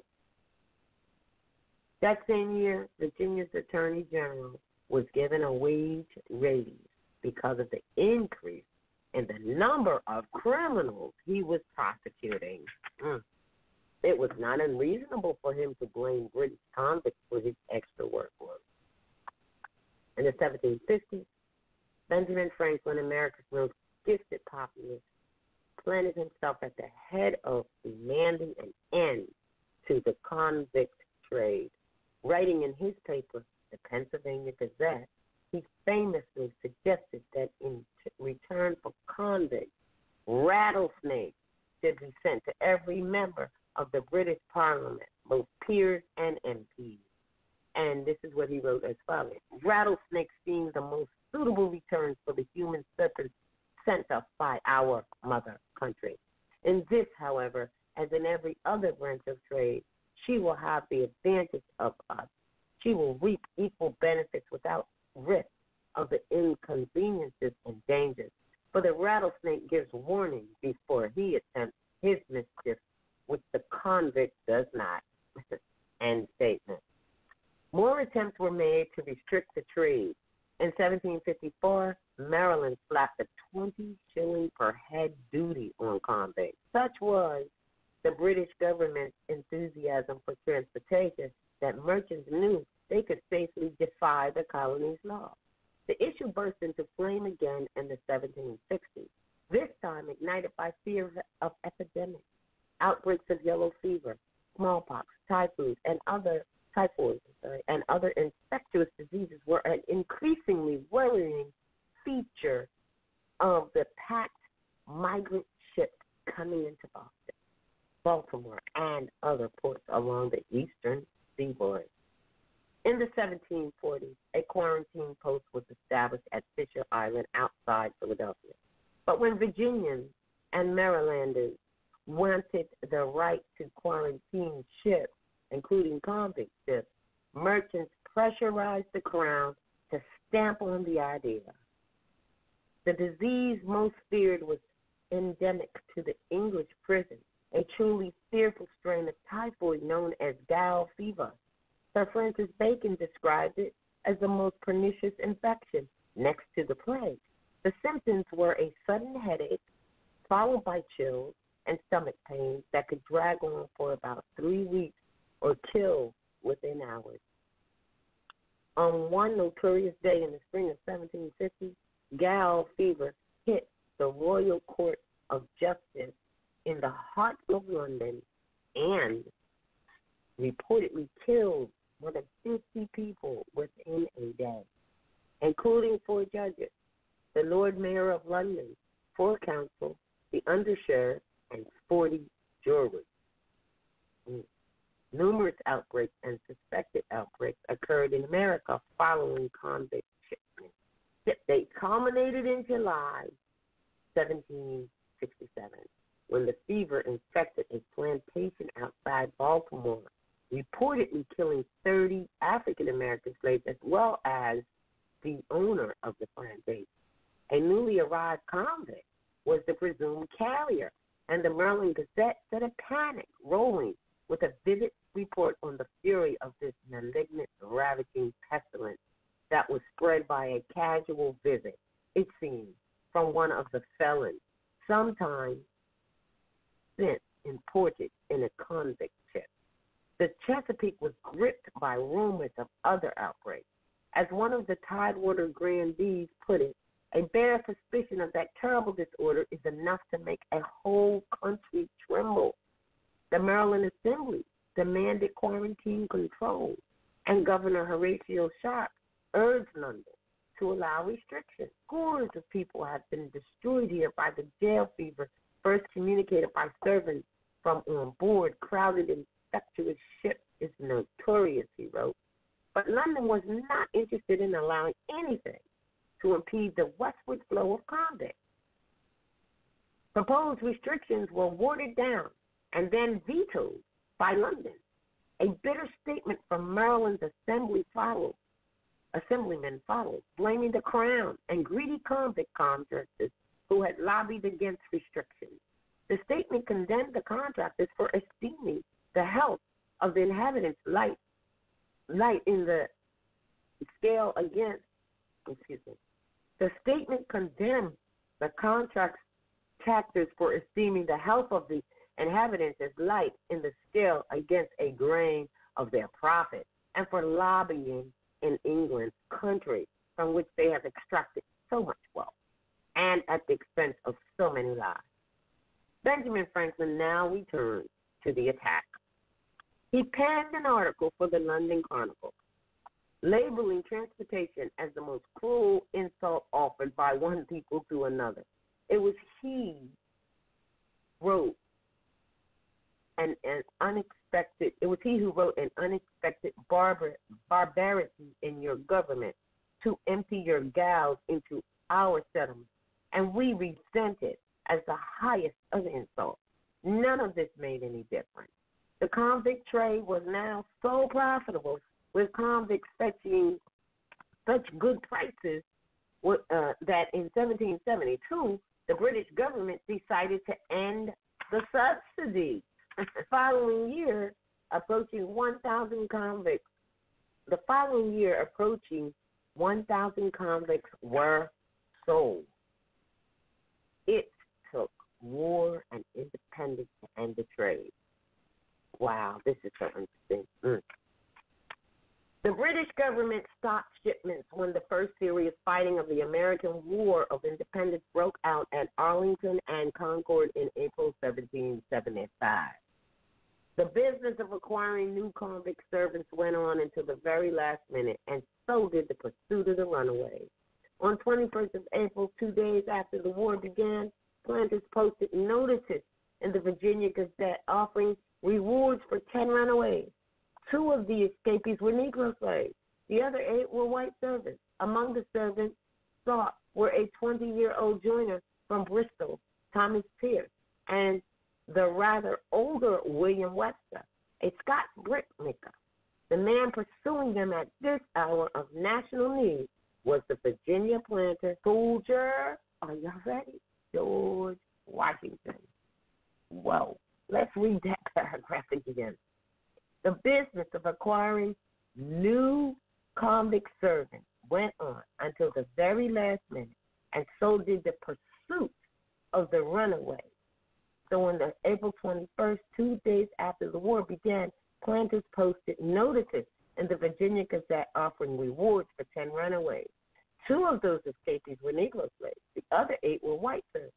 Among the servants sought were a 20 year old joiner from Bristol, Thomas Pierce, and the rather older William Webster, Webster, a Scotch brickmaker. The man pursuing them at this hour of national need was the Virginia planter and soldier George Washington. Wow. So he um, was on the pursuit. Now, let me see what the time is. Great, perfect, because see, I like this. We were going to do the last two um, chapters, but you know what? We're not. We're going to start right here because we're going to have discussion. And guess what? And E will have the opportunity still to do the last chapter of this book if he can. If not, of course, you know, we'll, I'll be here and we'll be doing what we do because that was a long chapter. I think it's appropriate. Now, the only thing I need to do, ah, I made it with my cold, is to make sure I have the phone numbers up correct. And I just need to know if um, I don't know the numbers for. Let's see we have here. I'm looking for a SIM. All right. Wow. This is really interesting. See, who do we have at 510334? You're live on the air. Islam. Greetings and peace. This is uh, Anthony Shekel Bey calling from Hey, Morocco. how you doing? How are you? Good. Good. Great. good. How are you? Well, oh, well, I'm catching a little, you know, cold, but I'm, you know, broadcasting my so on type thing. And uh, I'm glad that you. I'm going to ask you about your comments, but I am still looking for. um Let's see. I'm looking for a sim. I don't know if I got his number because I he usually has. Uh, um. Oh, here we go. Hold on one second, uh, Anthony. Sure. Excuse me. Gotta press one. Gotta press one. No, no, no. Let me see. Let me join in. There he is, but he doesn't have one press. Um, yeah, so he just did. To the top. All right, Anthony, you're on the line. Stay with us, and there he is. Is this a Sim? Islam. Islam, how are you? Oh my well. goodness. Now let me just open up Bakari also. All right. I know Bakari is the seven one nine, I believe. Is this brother Bakari? Seven one nine two three two? Seven one nine two three two? All right. Islam, yes, it is. Bakari? Peace and love. Yes, I'm here. All right, so we've got Bakari, we've got Brother Sin, and we've got Anthony Schenkel. Um, uh, you know, I always have to say Anthony but you know, Anthony has just a, it just has a rhyme to it. It's just a flow. You know, all of us on the line of Beys and Els and Ali. So, but but um, uh, to discuss this, I think it's appropriate if we end right here and have discussion on this. And this, like I said, this gives opportunity for the very last chapter, which is 19, and it's called the Last Hurrah. Now, I, I, I just got to say, I was taking notes as I know you guys uh, always do, and I know that um, I know that you, uh, Asim, and I think Bakari as well, are already read through this. You know, are ahead of the chapters. But that that whole thing reminded me was I was writing it as I was, you know, trying to take notes on it. The same thing they do today is what they've done. It's it's, it's the same thing, you know. Uh, and, and look at the bonds. They got the bonds. They've got um, it's the fact that they used America, the land, American land, as really as a, a as a as a dump. You know what I mean? When when we hear that they brought over criminals and and and, and people from the galleys that were murderers and criminals, it's true. And then this last thing here, well, I mean, we could go through it, but my goodness, there was some other notes that I wrote that I wrote down as well.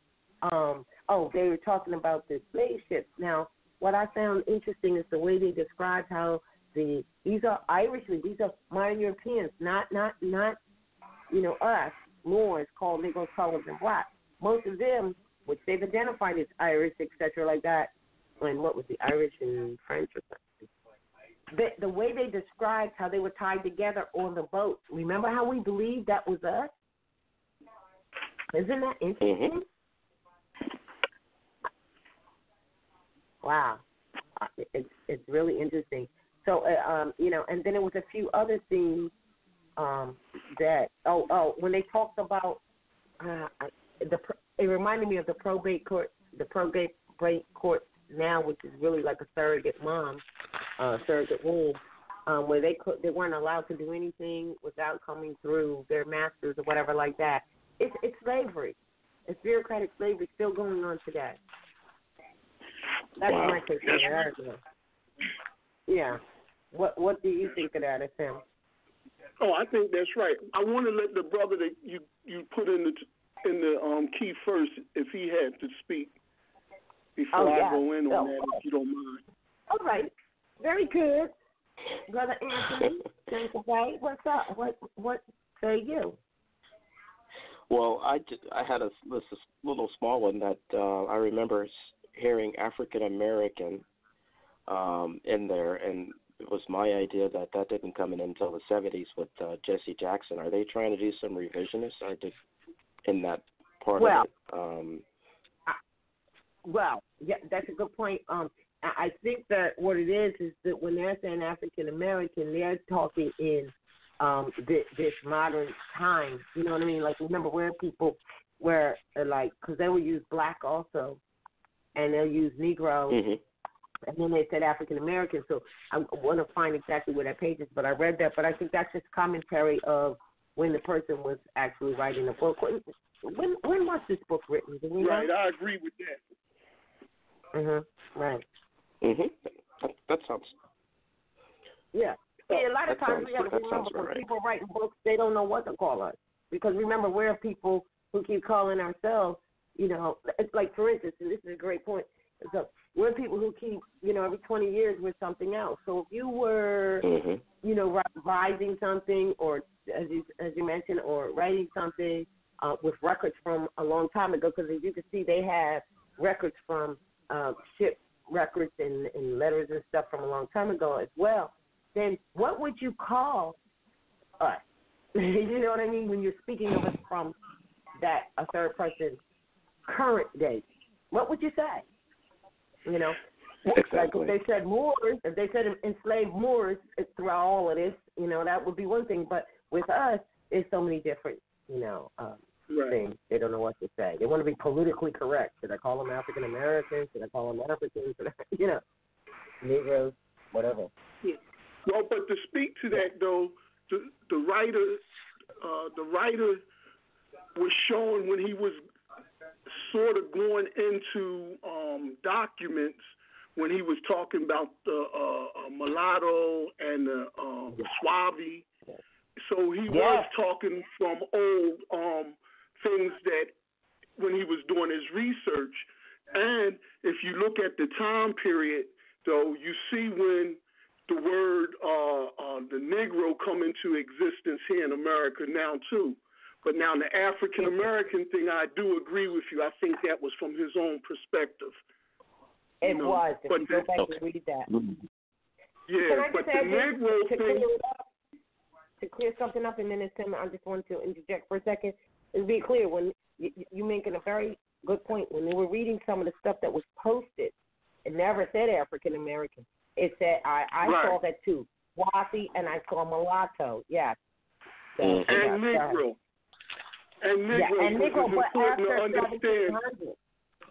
Yeah, is under the is under. It, we must understand uh, um, those constructed entities that they uh, was making up at that time because you know when you talk about the Negro, you could have been talking about a Native Amer- uh, American.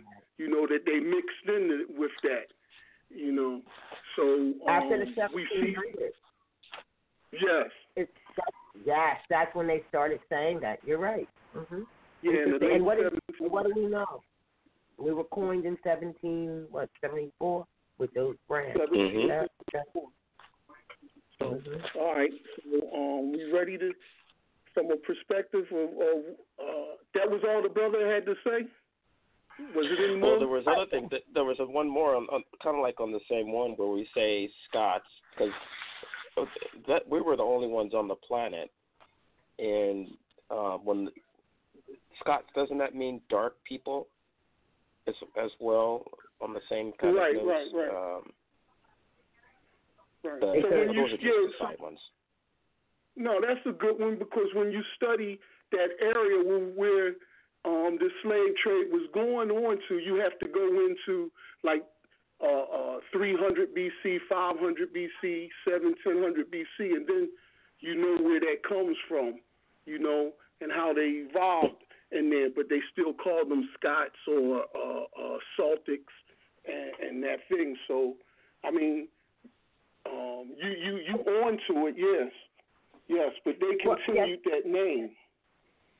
And the thing right, is too, right. if, have you read all of the book? Have you been listening to all of the um broadcast or caught up with it or read it yourself? Because in it, they, you know, it starts out all modern European slaves, but then I think it was two or maybe three or four chapters back, I'm not sure, when they said they started getting, um, you know, the Negro or what, depending on when he's writing it.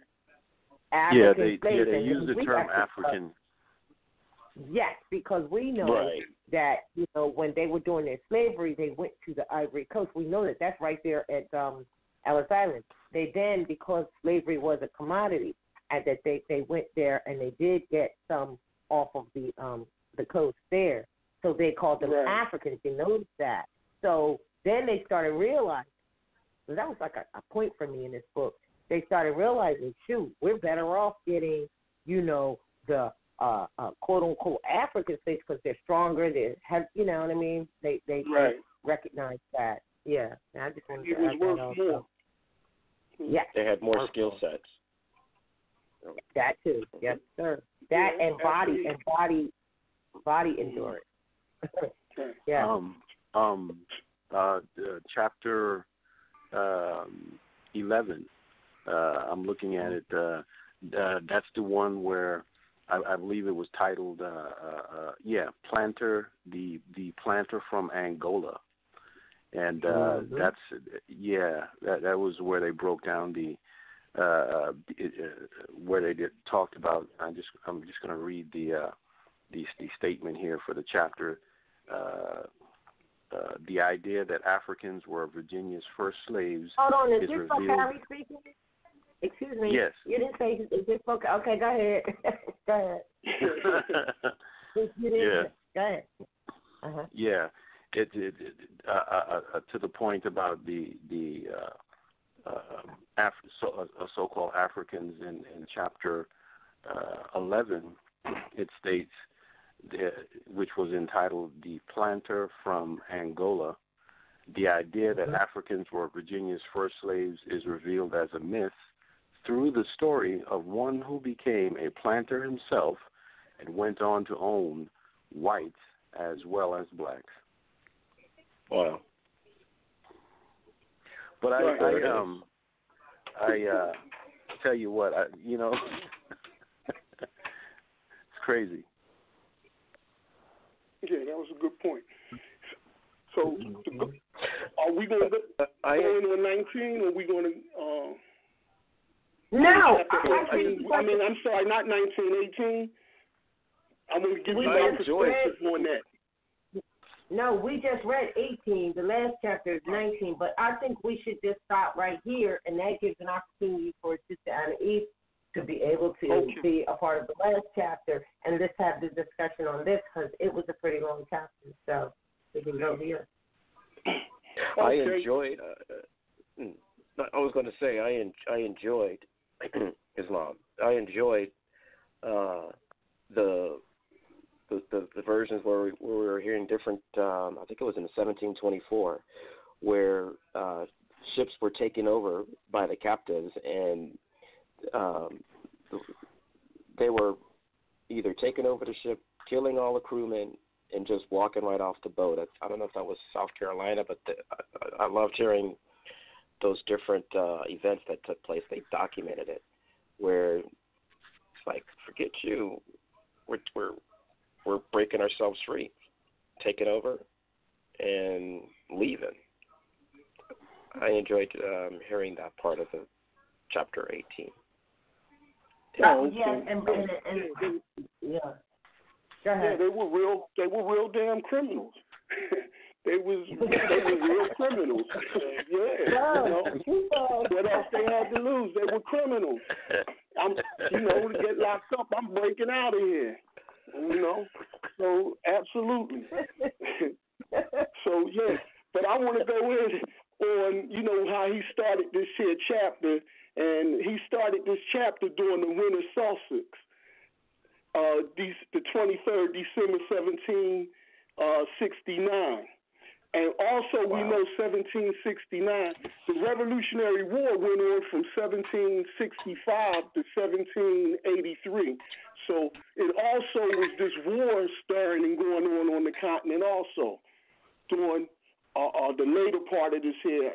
But he started off at that 1769, and then you see when he um, digressed and then kept coming back and forth in this chapter when he talks he puts some keys in this here thing when he talks about the Spanish succession in 1714 uh, also because we know in that area where the white slaves was coming from it was also while that trade and stuff was going on they was financing the war there because uh, uh, uh, uh they were consolidating between uh, um, and, and bringing about what they call later on, I guess around 1707 or so, uh, um, the consolidation and became the United Kingdom or the uh, uh, the kingdom. But before that, you had England, and England was just a little city like Philadelphia.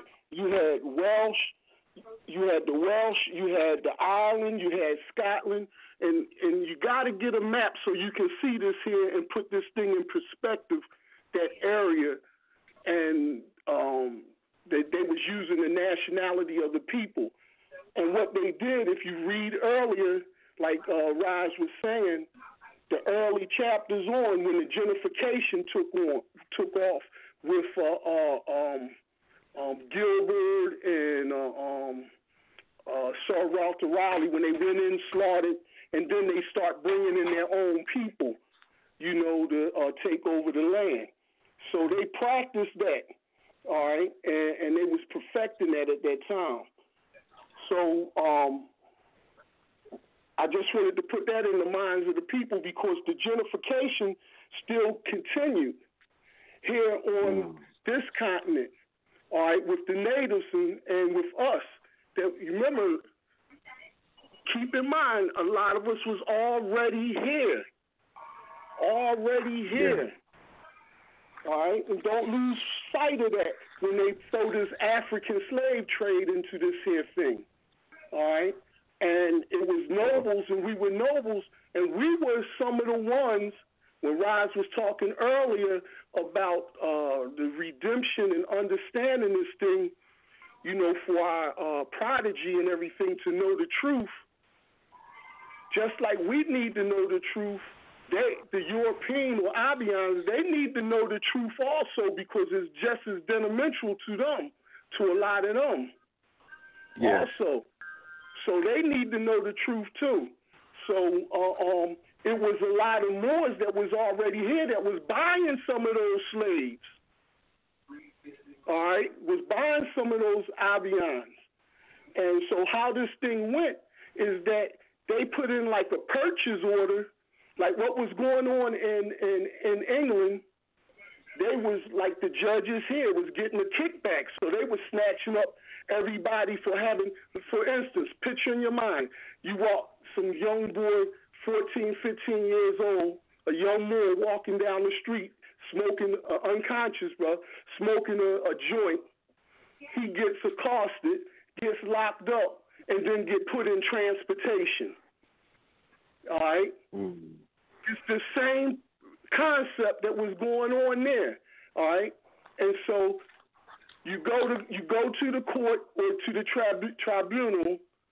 They want some fiat, so they already the judges already got a deal with the uh, uh, uh, here on the continent with America. Listen, send us more.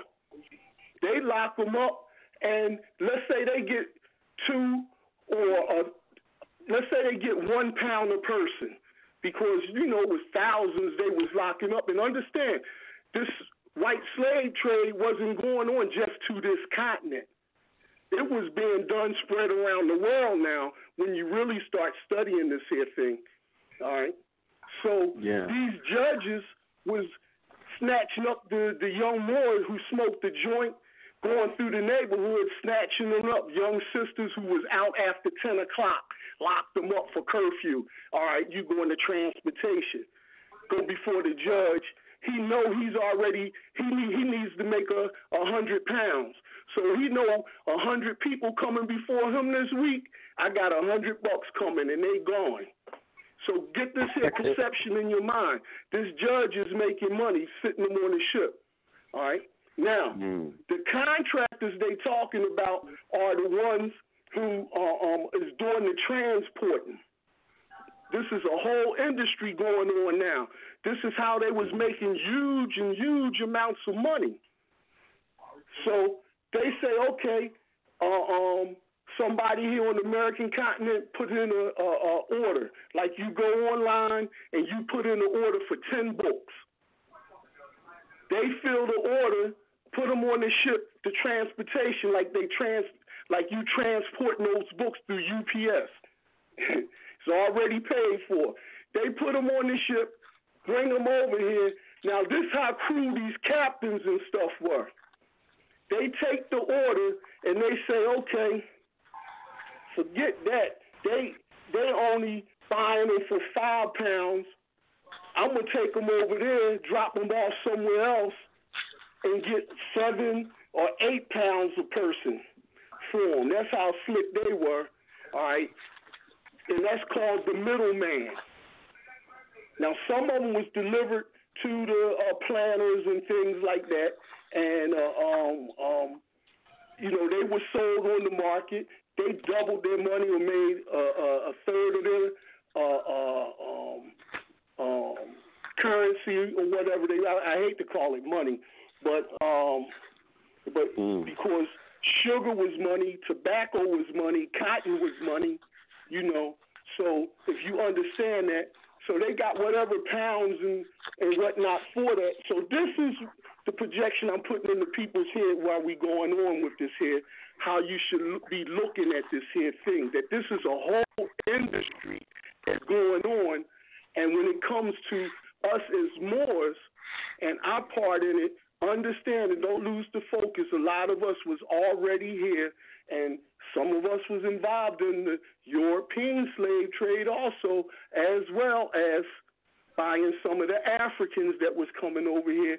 So, you know, the truth is the truth. So let's not shake that like we afraid to say that because I know some Moors don't want to talk about that or this and that. But let's not shake that.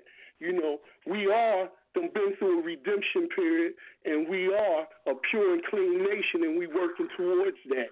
You know, as a people and as a whole. But that was the Mm. perspective of the history itself, though. All right.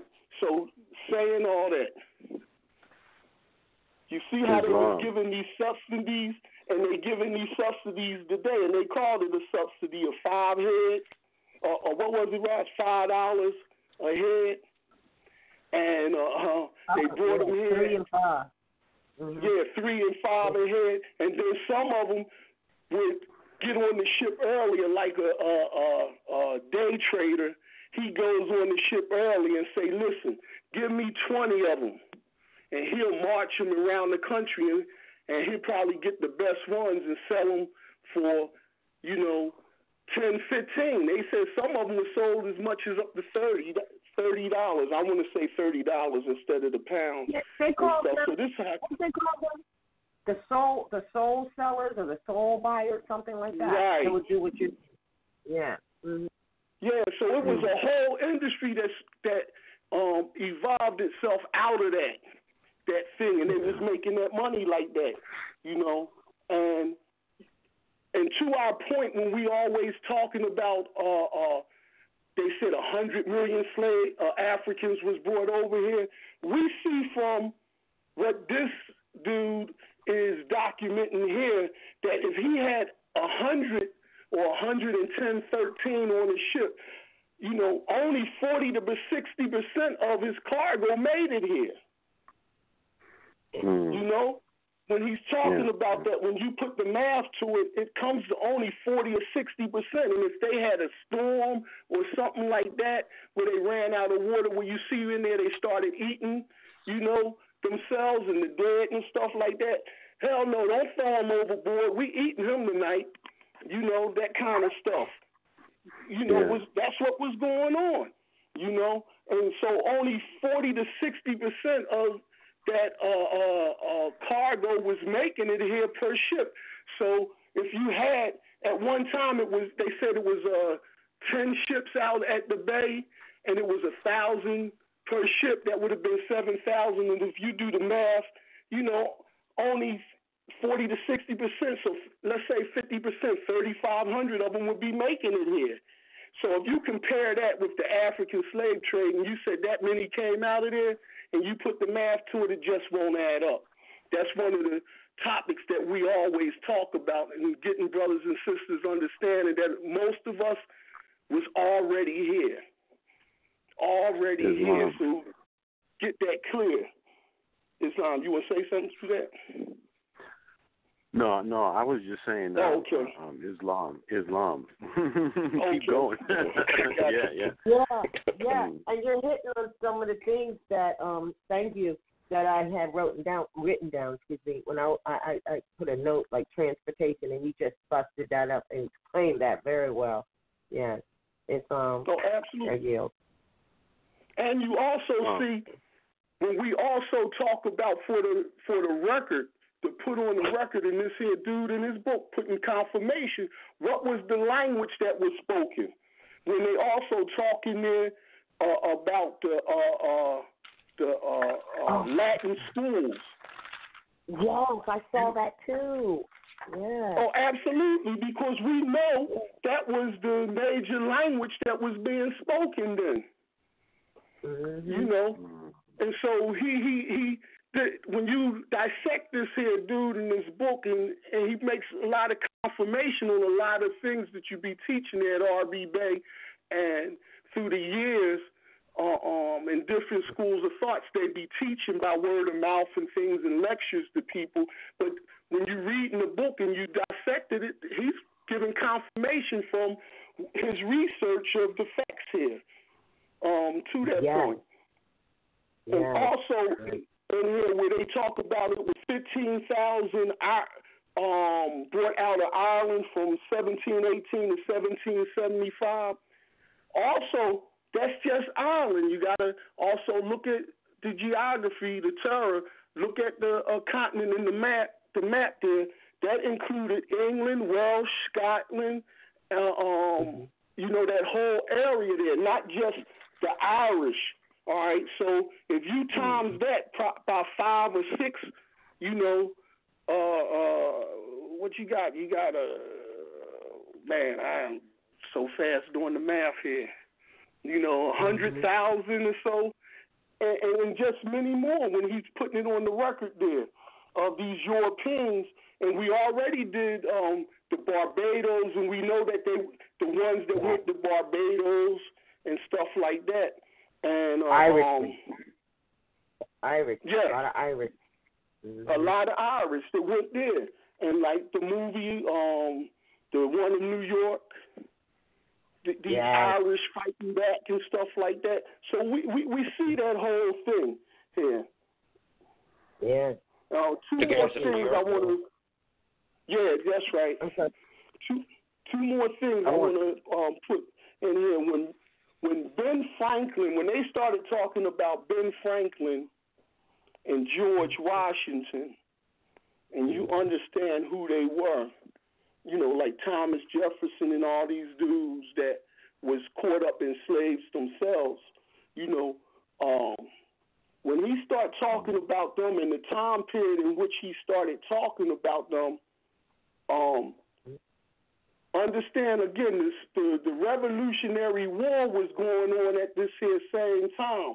And so these guys during that period of time of these runaways and stuff all of them wasn't running away getting back to england.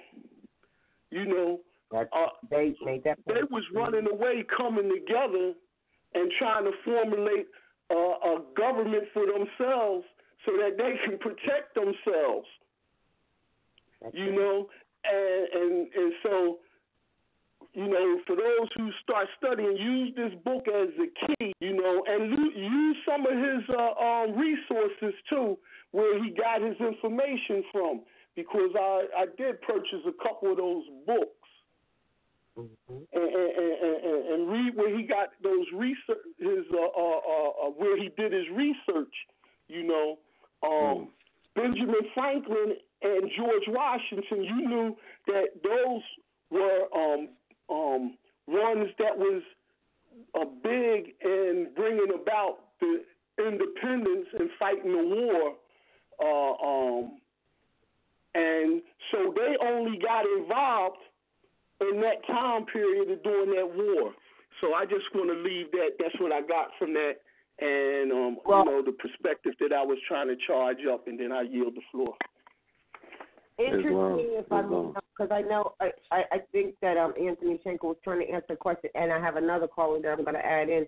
But before I do, I want um, Anthony to um, answer the question. And prior to that, though, um, it's interesting what you're saying because you know, they're talking about 1772, 1774, 1775, and, you know, leading up to 1776, right? Okay, so in 1774, they actually went to Philadelphia to the existing Congress. That's the Articles of Association of 1774. They went there to ask the existing Continental Congress to assist them in being free from that, Caesar. So this is leading you right mm-hmm. up to what you're saying. Now you've got to know, read the 1774 um, Articles of Association, which is on the Forgotten Scrolls page of um, RVJ Publications, and you'll see that they were asking for the assistance. And then, you know, that led up to 1776. So you're absolutely correct in what you're saying. Uh, this is the history. Remember, we're told that if you really want to know your history more, you've got to know the European history. Got to because yes. it's part of your history as well, and this is proof positive to that. And then um, that leads to the um, John Adams analysis letter. Uh, I'm sorry, the analysis of John Adams' letter. You know, after they did get their freedom. So you know, we'll get to that future. Uh, um, you know, coming um, where we can bring it right to. And, and one other thing you mentioned, if you watch, look at, it's a six week series that was on television called, um, oh God, um, uh, something with a Negro. I can't even remember. As this is sad that I don't remember the name of it. Oh man! And in it, however, no, not not the miseducation. This is actually a TV series, and um, it, it was only on for six weeks. It was a six week series. You could probably pull it up if I could tell you what it's called, and I can't believe that I can't remember it. I'll try to get it before we hang up.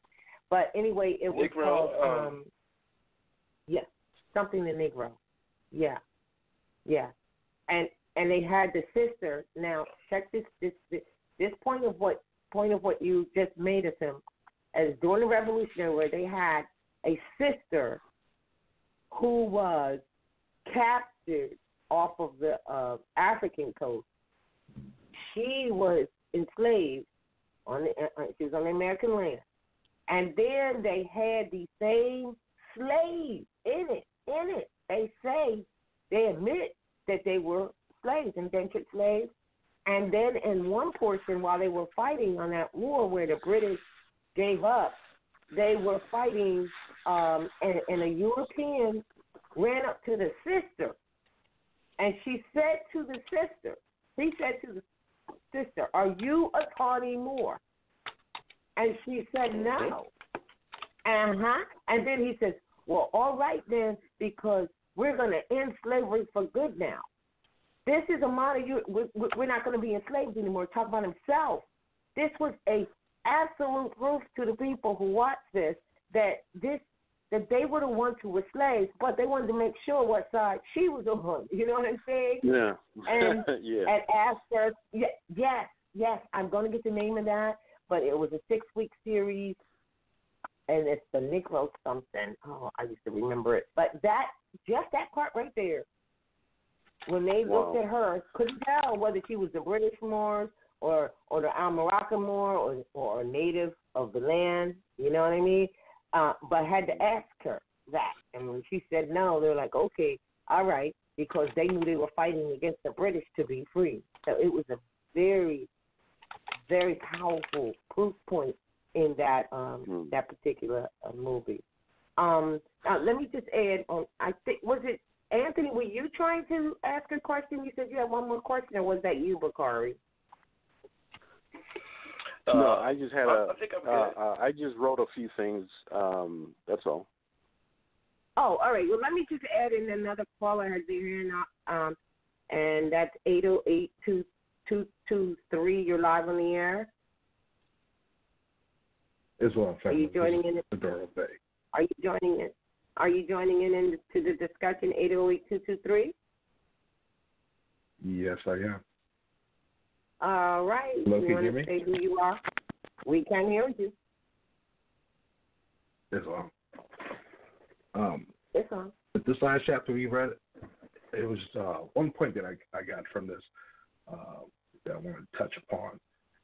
Uh, we covered it said that uh, the scores of people that have been destroyed here by jail fever, first communicated by servants on board of crowded infected ships. Mhm. Kind of saw that statement as potentially a uh, motivation for the planters to stop or fight for independence as opposed Mhm. to just the, the typical racial aspect. The white indentured servants look like us and they have a, a, a the same plight even after they get out. Uh, meaning that if they even went back, they were still treated as second class citizens. So Mm-hmm. if you had your operation set up here and infectious people were coming in. And you didn't take the time to weed out the infected, that infection can spread. And the all that you had built. Because it really wasn't going to discriminate, but uh, we know who was more susceptible to it. Because who affected it more, right? The white cargo. Right. the 45 to 60 percent of uh, cargo dying in transportation alone. So each one of mm-hmm. those ships coming in were basically like a biological weapon. right. And guess what? They were second class citizens, you know, quote unquote, before they even came. You, you know what I'm saying? they were that. Right, But, right. but what was hap- But see, here's what it was. That's why you read that, and that's why Ben Franklin got his hair back up on on on- on his neck because they were sending their quote unquote. Just another proof positive. Quote unquote, their mother country, right, was sending these people Mhm. to. He said it to the colonies and plantations. You know, purposely, because all of them Yeah. there were second class citizens there, and the plantations and the colonies that were set up here, they were still second class citizens. But yes, it it it it, it, it it's infectious. Hmm And Mm. I And- think it and- drove and- that and- point home even more for me. Oh, I'm sorry. Go ahead. Yes, No, good. And- and let me say this. point, bro. yes. Go ahead, Ryan. I, I I wanted to say, let me just say this, and, and, and then just one second. You're right. It does bring it home for you because you've heard people say it, but now we're doing this circle of readers and uh, suggesting them books to really see the documentation on it. And in addition to that, when we physically went to Ellis Island, all right, because Ellis Island was the the lineal descendants of these slaves that were here the Ellis Island people were the ones who were the lineal descendants that were free.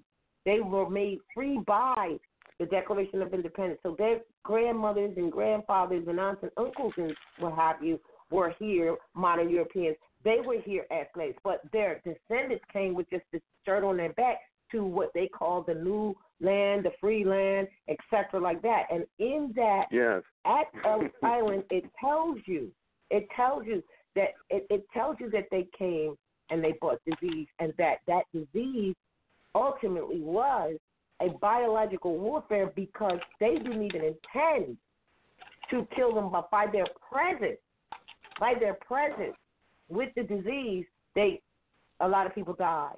So I just wanted to say that's also documented there. So bringing it home, yes, that'll bring it home for you even more. you know. And I, Yeah. I, I apologize. I, I didn't mean to cut you. You wanted to uh, comment on that? Yeah. I, I Yeah. just wanted to say, um, I wanted to like I, I kind of want to thank Don Jordan and Michael Walsh, the uh, Mhm. you know two individuals who who wrote the uh, book, and um, I also want to thank Anaidah for uh, the you know for uh, bringing this you know book to the forefront. And uh, so, and I also want to thank you, Mother, um, for the platform as well. And um, you know, it, like when you just mentioned um, Liberty Island, um, you know, like before the Statue of Liberty arrived on the east coast of North America and was unveiled, I think it was October 28, 1886 before the Barbary Wars from 1801 to 1815, before the Declaration of Independence uh, in 1776, uh, before England was called Britain in the 15th, or, or correct, and after uh, England was called Britain. Now I'm jumping ahead. Uh, after England was called Britain in the 1500s, and after the fall of Britain was Granada. Mhm. Hmm? Britain was called England because Britain was first, and then England is the indication of the bastardization of the Englishmen. Because the Englishmen, if you look it up in Oxford Dictionary, they say that we are but a hybrid. So actually, it was Britain and then England. Ah, ah, Or- correction, correction. Yeah, that's all right. That's why. That's why when they say that we got our independence from England, but then when you go read the actual documents, it says from Britain, because they are Hmm. Englishmen. But the Englishmen The British Moors? are the British Moors. The British or British Moors is who they got their independence from. Period. Although they had middlemen and managers and stuff, as we see in this book, to transport those overflow of modern Europeans to the companies here that are still the same companies to the companies here, which were called plantations. All right, and or uh, com- uh, called companies plantations. And if you read the 1774 Article of Association, it shows you that right in there because they they named them and they used the word plantation in some of them because the original people working on those plantations were not us, but was them coming from Britain, from the British Moors or from Britain. So later they refer, and now they refer themselves to English or Englishmen.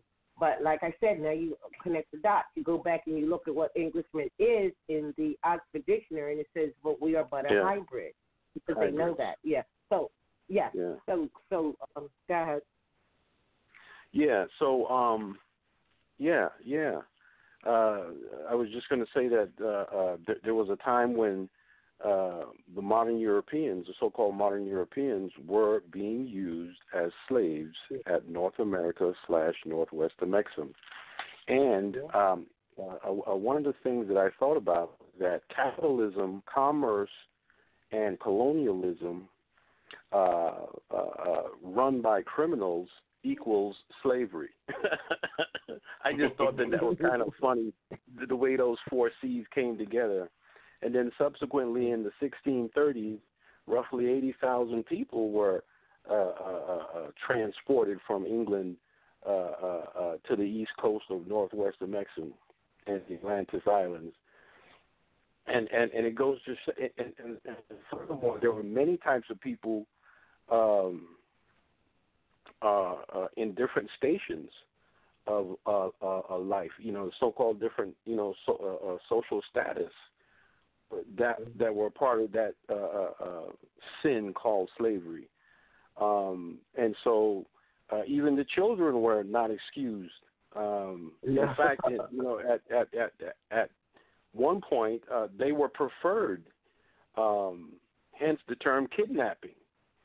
And so the- reason why I, I, I mentioned the the dates was along the same lines as Brother Asim to to you know to, to to try to add some concept you know for the listeners because there's so much that goes that that goes on during this time frame um and and and and so on so um yeah um i thought that those that that those dates uh, when uh, Mother Ras mentioned the the uh, uh, Liberty Island, I, I thought I'd throw that out there.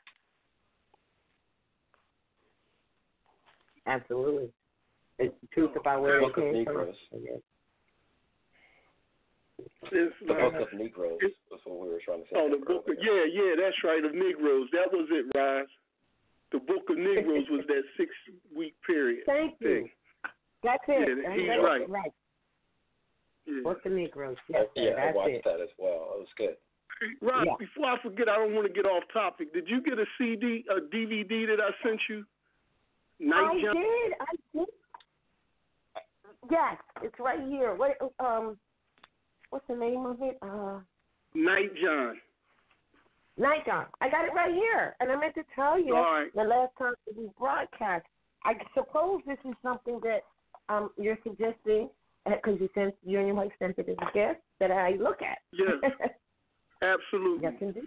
Absolutely, because it's going to um, talk about something in there. There's uh, a couple. I'll wait till you look at it, but I just needed to Oh, ask you that.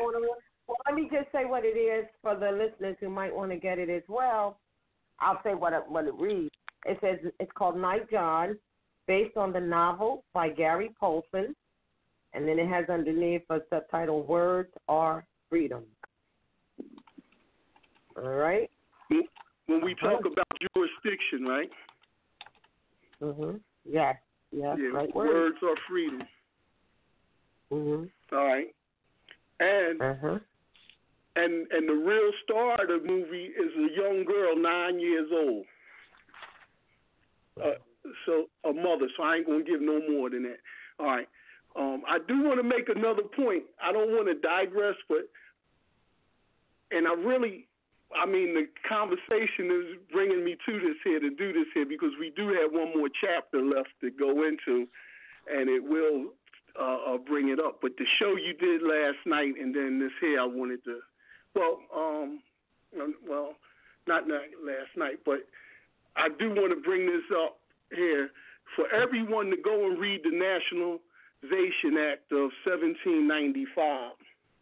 And what made me think of this here when the brother was talking about them coming over here diseased, not only was it going to kill uh, uh, us as nat- the natives and stuff that was here and wipe them out, it will wipe them out also because they had several attempts coming here in the early uh, um, or at the end of the uh, uh, 1500s.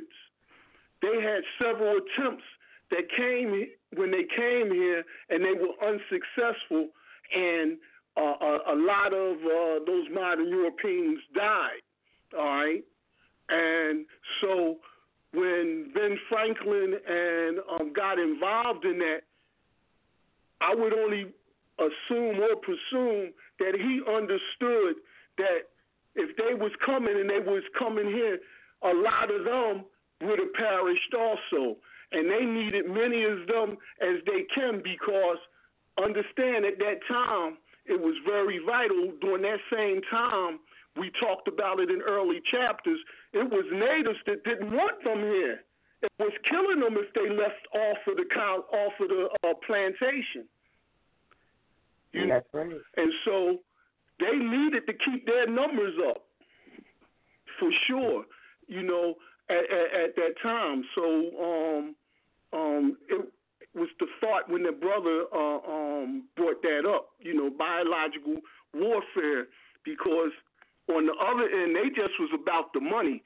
You can be sick, what, whatever. They said, what, disease, crippled, whatever. You going on the ship, I'm getting paid, and when you get there, let them figure it out. You, you know, I mean, that's Yeah. what he was saying, basically. You know, in Mhm. that diseased or whatever. I got paid already. It was a, uh, uh, it was a ledger in already for enough for bodies.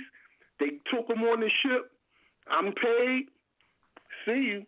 And and if they would have kept bringing them, a lot of those colonies could have been um, wiped out because, like they said, over in England, it was it was it killed judges and and the whole court. You know, got diseased and then they was dying. And so, um, and he only talked about it, but you have to magnify that scale. So the brother made a real good point. I wanted to say that to him. That was a good point. Yeah. As long. Another thing that I found really interesting too, um, well, you know, really sad. Uh, you know, it kind of makes you feel for these people. Um, well, not kind of. It definitely makes you feel for the people. Like, regardless of what their descendants are doing to us today, um, a lot of these people were innocent because, I mean, like, these cats were getting caught up for just all kinds of stupid stuff and then being transported over here. I mean, like literally, you could just snatch yeah. up a loaf of bread, and the next thing you know, you're hungry, and the next thing you know, you're on a ship. You know, um, so you know, I mean, that's just. I mean, I, I I really feel for some of these people, and and then there's even the the the one case, um, RasMariah, when they talked about the uh, I forget which chapter it was when the young man, his his own uncle, wanted to get that cheese, so he cheated his inheritance, sent the boy packing to the, uh, uh, you know, to the East Coast. You know, you know, put him on the ship.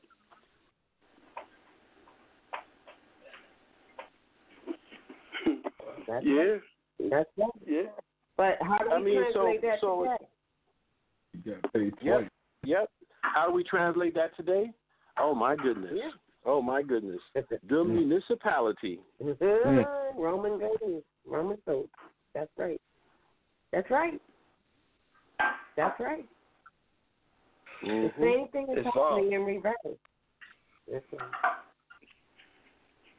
As long I as remember brother there is was- again, I just wanted to make one other point if I could. Um, a little earlier, uh, one of the brothers on the line were was speaking about the the makeup in uh, in Europe, in England, and Ireland, Scotland. Um, a while back, I got curious just to see what Google would do, and I googled the question of when did the Romans invade Britain? And what came back, uh, it's in Wikipedia, it's what basic Google reads out. In 55 BC, the Roman general Julius Caesar led his army across the seas from Gaul, which we know today is Germany and France, um, to Britain. He wanted to make Britain part of Rome's empire. The British Celts uh, fought bravely, and Caesar soon went back to Gaul. Next year, in 54 BC, the Romans came back. And that was from Wikipedia about 51 weeks ago. I mentioned that because if we look in uh, Ancient and Modern Britons, Volume 1, David MacRitchie, published in 1884, page 187, he describes that the Celts then formed one division of pure whites, the Moors, or Picts, of the pure blacks, and both were living side by side in Britain when the Romans came. Again, the time period, 55 BC. That's all. wow. Islam. Mm. Good work, brother. Good bill. Yeah, that was the point to the uh. other brother that called in earlier. The the first brother that called in. Brother. Touch. Yes. Islam. I also remember um, uh, take about people being taken for small stuff. There was someone that was an actual um, what they what do they call him? But he was a beautician, or he did hair, or he had the skill of that set. Oh, and yeah. He wanted to look good, or for the ladies, or something like that. Um, Mhm. What was what was that about? What was that, what was going on with that part of it? I know it was something Um, that was a short sentence. Um, Yeah, they, they were taking people. Yeah, Yeah, no. but I just I I think that. I I think that you're saying what what what were they saying that was so comical? Actually, uh, they were. Let me go back. Do you remember what page that was? Because I, I I saw that too, and they were making a joke out of it that you know he was with the women and that the American women or something like that like to dress nicely or something. So, hmm. Mhm. Yeah. I don't remember what Yeah, page gonna- that was, but I think that was the gist. I'm gonna find the gist of it. He,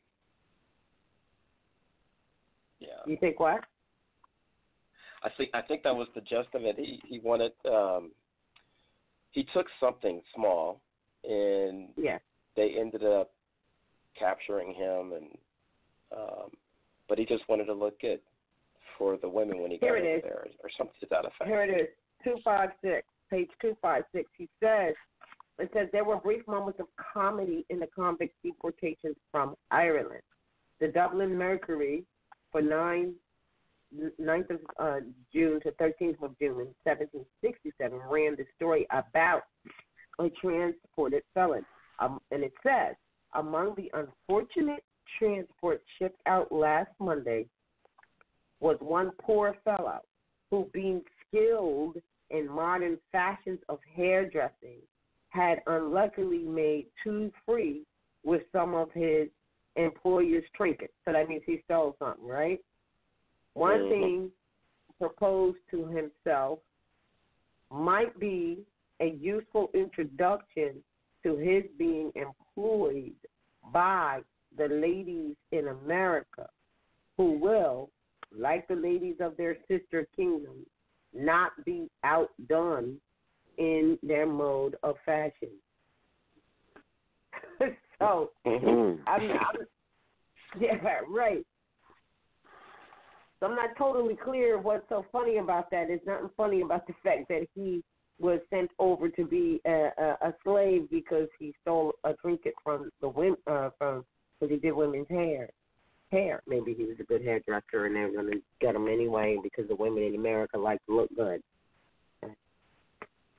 I still find nothing funny about it. So. Mm. But it did, did it also say sister, like sister city or sister like they were doing Oh, they were used to doing And business sister- together in that sense. It says, it, okay, I got you. I saw that. It said kingdom. It says one thing opposed to himself might be a useful introduction to his being employed by the ladies in America who will like, who will, like the ladies of their sister kingdoms, not be outdone Mhm.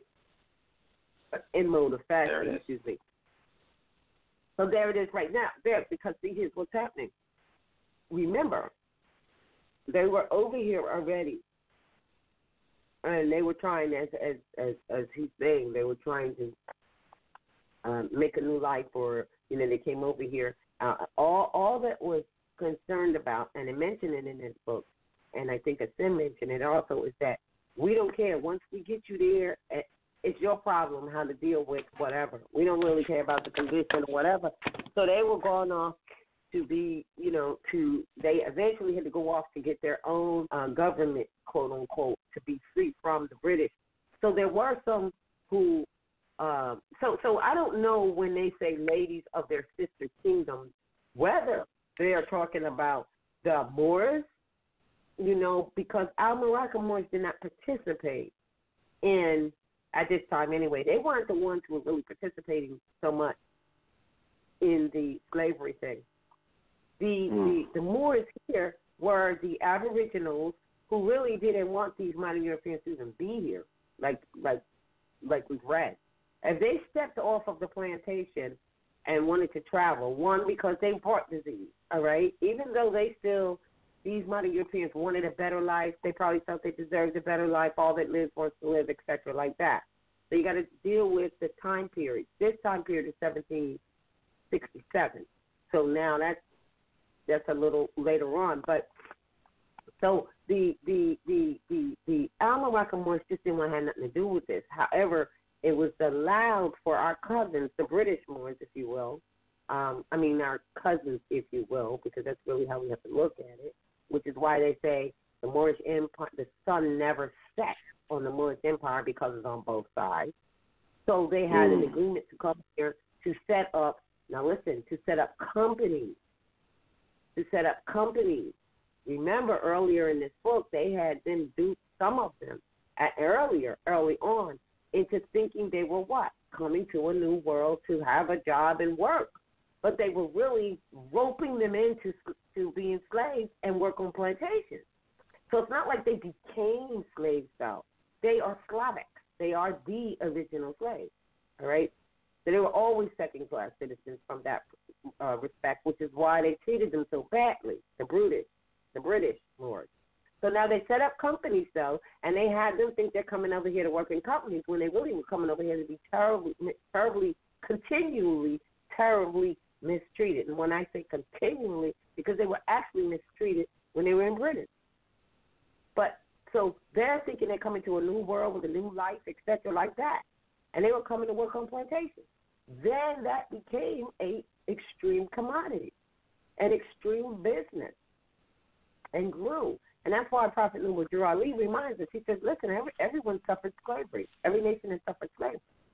So it became a commodity, and it didn't really have a skin tone. You know, it wasn't like white or black.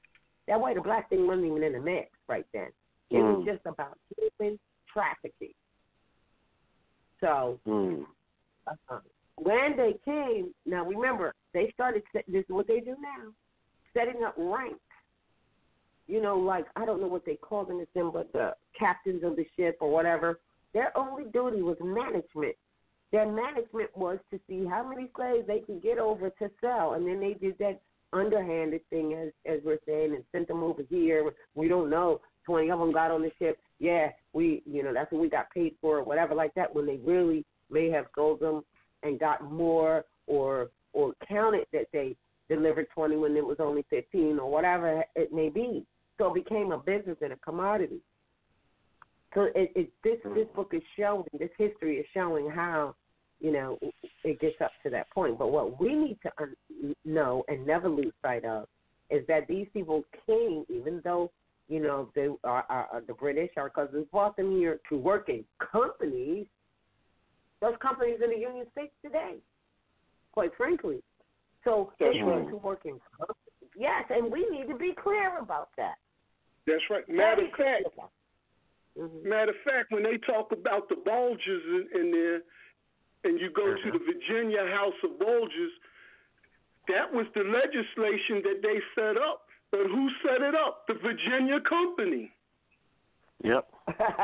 So when you look that up, so to your point, when you look up the bulges, the Burges, when they're talking about the, that's another key for you to research, and you see that that was the Virginia legislations that the um, um, Virginia company set up, you know, to Yeah. do their bidding, and you starting to see that today here oh, absolutely. where they moving these people, uh, um, you can say KKK, they moving them into different positions to rule these um, circuit and district courts and stuff, putting judges into those courts and stuff, so that if you do try to bring a case to a district court or um, one of these circuit courts, then they they have their judges in place. So uh, I, that's another story to go into, but that that's what's going on here. Wow. This is my yield the Yeah. floor. Yes. Well, if there's any last comments from anybody, because believe it or not, it's 10:24. We're going to be going off the air in six minutes uh, total, and um, you know, it's always been wow. I made it through, even though I have a cold. Um, I I, uh, I I I enjoy. I always enjoy it when I, when I um have to really sit in on these. I enjoy speaking with everyone who's calling. I enjoy um, your input. Um, uh, of already reading ahead of time, Mr. Simon Bakari. I do know that much uh, with the two of you. Thank you for that, and I know Anna Eve appreciates that as well. We all do, and all the listeners. You know, it's a great time to just sit back and have a book read to you. So it's all good. But she did say, uh, now we do have one more chapter of this, and guess what? There's five Wednesdays in this month, so we're going to be back here on Wednesday to complete, um, right? Because this is the last Wednesday of this month, correct? Yes. So we'll be here um, Wednesday for the Circles of Readers next Wednesday. The next time you're going to hear from us, of course, is Tuesday. Um, I don't know what the Sons of Aurora is. Uh, they already had theirs. Yes, they did. I think for this month. So uh, I just want to remind people too that um, send their email. We're having the sisters, the First National Sisters, uh, Sisters sitting on Wall Conference, and that's going to. Uh, we're, we're gathering information for it, but you send an email to MHH Wide Open at gmail.com. If you're interested, sisters, in uh, attending that, we're looking to have it um, in the spring. We don't have the dates or anything set. We're just trying to gather up enough information. I keep forgetting to mention that on the shows, on the uh, pre last few broadcasts. And um, we're going to be back here on Tuesday for our national principal action at 9:30, and then this circle of readers will be next Wednesday at 7:30. I appreciate all of your input.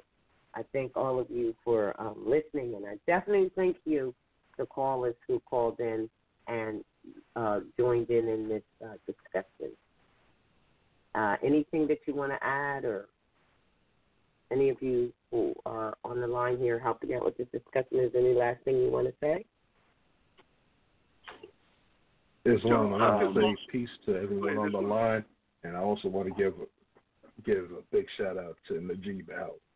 If it wasn't for that, brother, a lot of uh, uh, great broadcasts. Uh, unfortunately, I would have missed recently being ill. You said you want to give a shout out to who? Oh, to Annie E. All right, Annie E. Annie E. Oh, thank you. Yes, that's fine. Yes. Yeah, Islam. Is, Islam diddle that as well. Diddle that as well. For All right. Annie E to L. All right. All right. It was good to hear you. Yeah, Islam, uh, me also, and to you, Mother Rise, to you, Mother Rise, who's fighting through it, fighting through it. I mean, just a, um, just a trooper, mother, mother, sister, soldier, mother, sister, soldier. Yes, you know, do your thing, sis. I love you. Yeah, a few times when I said hold on a minute, I had to take a sip of tea. I didn't want to. I got a loud thing in the background. What is that? Uh-oh. What is that? No, I think that's me. Uh-oh, I think that's Who's me. that? Oh, all right. Well, uh, again, I thought I said hold on a minute. It's just because I didn't want to cough and sneeze and anybody here, and I had to take a sip of my ginger tea that Sandra made for me. So and echinacea. But uh, hey, we do what we have to do. We soldier on. I'm glad that um, I was a part of this this evening. I'm glad I'm a part of this for for all the time and forevermore. So thank you all for joining, and uh, we'll see you next Tuesday at 9:30, and next Wednesday through the last chapter of White Cargo. Peace and love. Thank you all. Islam.